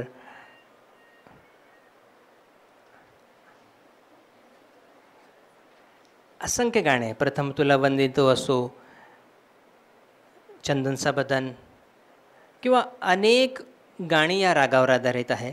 या रागाची एक बंदिश फक्त मी तुमच्यासाठी वाजवतो. एक शॉर्ट आलाप जोड एक शॉर्ट त्याचं स्ट्रक्चर जे आम्ही कार्यक्रमात काय वाजवतो त्याचं एक एक मिनटात स्ट्रक्चर आणि त्यानंतर एक बंदिश वाजून मी आजचं हे लेक्चर डेमॉन्स्ट्रेशन संपवतो. तुमच्यापैकी कोणी आहे जे संगीताचं शिक्षण घेत आहे? कोई है हात उपर करो तो समज में आहे पूर्ण वर करा म्हणजे. वा चला काही जण आहेत. काय काय करतात तुम्ही? गाणं? सगळे गाणं शिकतायत? व्हेरी गुड बासरी? वा चला एक तर मला बासरी होतं मिळाला तुमच्या कॉलेजमधनं तू पण बासरी होतोस कॅशिओ कीबोर्ड वा व्हेरी गुड राग यमनमध्ये एक शॉर्ट त्याचं जे स्वरूप आहे ते मी दाखवतो.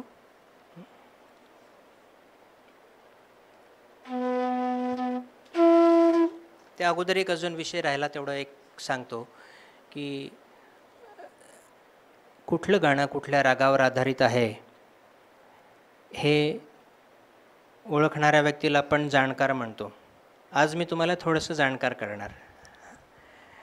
रागदारीची माहिती झाली की गाणं लक्षात येतं ह्या रागावर आहे. तुम्ही उलटं लक्षात घ्या आता. चंदनचा बदन म्हटलं तर यमन राग आहे. नंतर भूपाळी. घनश्याम सुंदरा म्हटलं तर तो भूपाली आहे किंवा ज्योती कलश झलके. किंवा वैष्णव जनतो म्हटलं तर राग खमाज आहे. तर काही गाणे जे आहे ते जर तुम्ही ऐकलेत आणि त्याच्यासारखी धून जर वाटली तुम्हाला कोणी शास्त्रीय गायक किंवा वादक वाजवतो आहे तर तुम्हाला अंदाज येऊ शकेल की साधारण हे हा राग असू शकतो.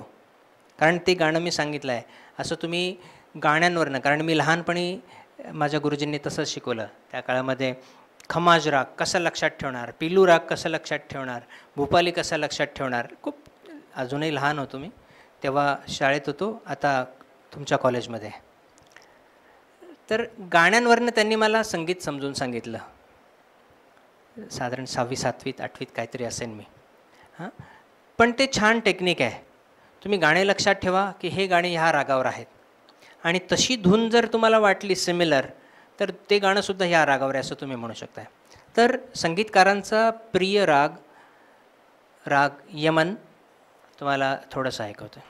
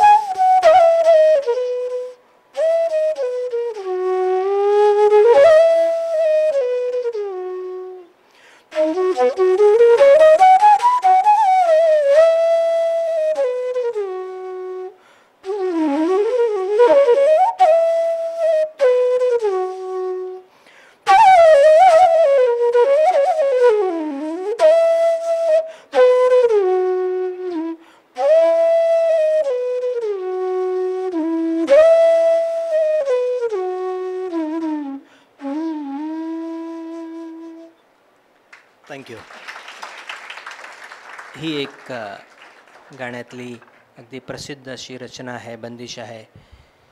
ये रियाली पिया पिना. कदाचित तुम्ही ज्यांनी गाणं शिकलं आहे तुम्हाला माहीत असेल. तर आज इथेच मी थांबतो. पुढच्या वेळेस जेव्हा मला अजून संधी मिळेल. साधारण दोन अडीच तासाची. तर मी कारण अजून खूप माहिती आहे खूप काही बोलता येण्यासारखं आहे. आज मी या एक तास सव्वा तासामध्ये असंख्य गोष्टी सांगण्याचा प्रयत्न केला आहे. त्यामुळे काही विद- मुद्द्यांवर मी जास्त बोललो नाही थांबलो नाही. फटाफट फक्त एक धावता आढावा म्हणता येईल. या पद्धतीने बासरीची जर्नी किंवा सांगीतिक प्रवास किंवा संगीताचा भारतीय शास्त्रीय संगीताचा प्रवास कसा झाला आणि तो बासरीपर्यंत कसा आला तो मी सांगण्याचा प्रयत्न केला आहे. मी पुन्हा डॉक्टर महेश पाटील त्यानंतर आपल्या प्रिन्सिपल मॅडम यांचा आभारी आहे. आणि तुम्हा सर्वांना भेटून तुमच्यासोबत माझा काही अनुभव शेअर करून खूप आनंद झाला. थँक्यू व्हेरी मच हां आणखीन एक हे सांगायचं राहिलं. बासरीोत्सव हा एक कार्यक्रम गेल्या अकरा वर्षापासून सादर होतो. हा हे अकरावं वर्ष आहे. हा भारतातला पहिला उत्सव आहे की जो बासुरीला समर्पित आहे ज्याच्यामध्ये यावर्षीचं अकरावं वर्ष आहे. आणि दर उत्सवामध्ये आम्ही माझे गुरुजी पंडित हरिप्रसाद यां चौरसे यांच्या नावाचा एक लाख रुपयाचा पुरस्कार देतो त्यावेळेस. पद्मविभूषण पंडित शिवकुमारजी शर्मा यांना तो पुरस्कार दिला जाणार आहे. मी तिथे फ्लूट सिम्फनी सादर करणार आहे जो भारतातला पहिला प्रयोग आहे की एका वेळेस शंभर बासरीवादक स्टेजवर सिम्फनी सादर करतात. आणि त्यानंतर अमान अली आणि अयान अली यांचं बंधूंचं सरोद ड्युएट आहे. तर चौदा ऑक्टोबरला तुम्ही सर्वजण नक्की या. रवींद्र नाट्य मंदिर प्रभादेवीला हा कार्यक्रम संध्याकाळी सात वाजता आहे. याची इन्फॉर्मेशन तुम्हाला सोशल मीडियावरसुद्धा मिळेल. बुक माय शोवर पण अवेलेबल होईल. आणि माझ्या पेजवर फेसबुक पेजवर पण ते अवेलेबल आहे. तर तुम्हाला मी आमंत्रण देतो ह्या कार्यक्रमाला कारण हा अनोखा कार्यक्रम आहे. आणि हे अकरा वर्षे मी सात वर्ष हा ठाण्यातच घेतला. आणि त्याच्यानंतर गेल्या तीन चार वर्षापासून वेगवेगळ्या ठिकाणी कारण ठाण्यातच घ्यायचो तर बाकीच्या लोकांची मागणी होती की इकडे पण त्यांना आवडेल घेतलं तर. तर त्या पद्धतीने यावेळेस रवींद्र नाट्य मंदिरमध्ये बासरीत्सव आहे सर्वांना आमंत्रण देतो आहे आणि आज इथेच थांबतो. धन्यवाद.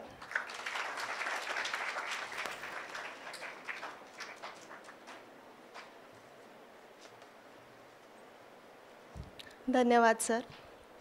सर तुमची धून ऐकताना अत्यंत मंत्रमुग्ध व्हायला झालं होतं आणि अजून कितीही जरी धून तुम्ही जरी वाजवल्या असत्या तरी मला खात्री आहे की सगळे रसिक प्रेक्षक इथेच थांबले असते. अनेकदा आपण ना शब्दांचे फ्लोट बांधून संगीताच्या सागरात पोहत असतो. पण आज हेच शब्दांचे फ्लोट सोडून आम्ही संगीताच्या सागरात पोहत राहिलो आणि हा अनुभव तुम्ही आम्हाला दिला त्यासाठी खरंच धन्यवाद. सर तुम्ही वेळात वेळ काढून आमच्या विद्यार्थ्यांसाठी इथे उपस्थित राहिलात आणि बासरीचे म्हणजे बासरी जी नॉर्मल आहे ती सगळ्यांना माहीतच असते पण बासरीचे विविध प्रकार जे आहेत ते आज खऱ्या अर्थाने आम्हाला माहीत पडाले. सो त्यासाठी खरंच तुमचे खूप खूप आभार. विद्याप्रसारक मंडळाचे अध्यक्ष डॉक्टर विजय बेडेकर यांचेसुद्धा खूप मनापासून आभार. विद्यार्थ्यांना नेहमीच प्रोत्साहित करणाऱ्या आपल्या महाविद्यालयाच्या प्राचार्या डॉक्टर सुचित्रा नाईक मॅडम यांचेही मी आभार मानते.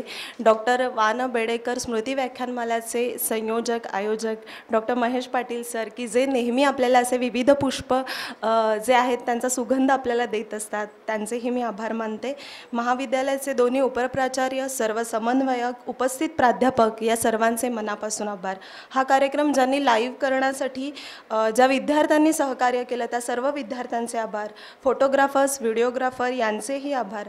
कात्यायनाच्या कात्यांची व्यवस्था पाहणारे आपले दादा आणि त्यांनी आपल्याला जे काही सहकार्य केलं त्यांचेही आभार. आणि शेवटी तुम्हा सर्व रसिक प्रेक्षकांचे खूप खूप आभार.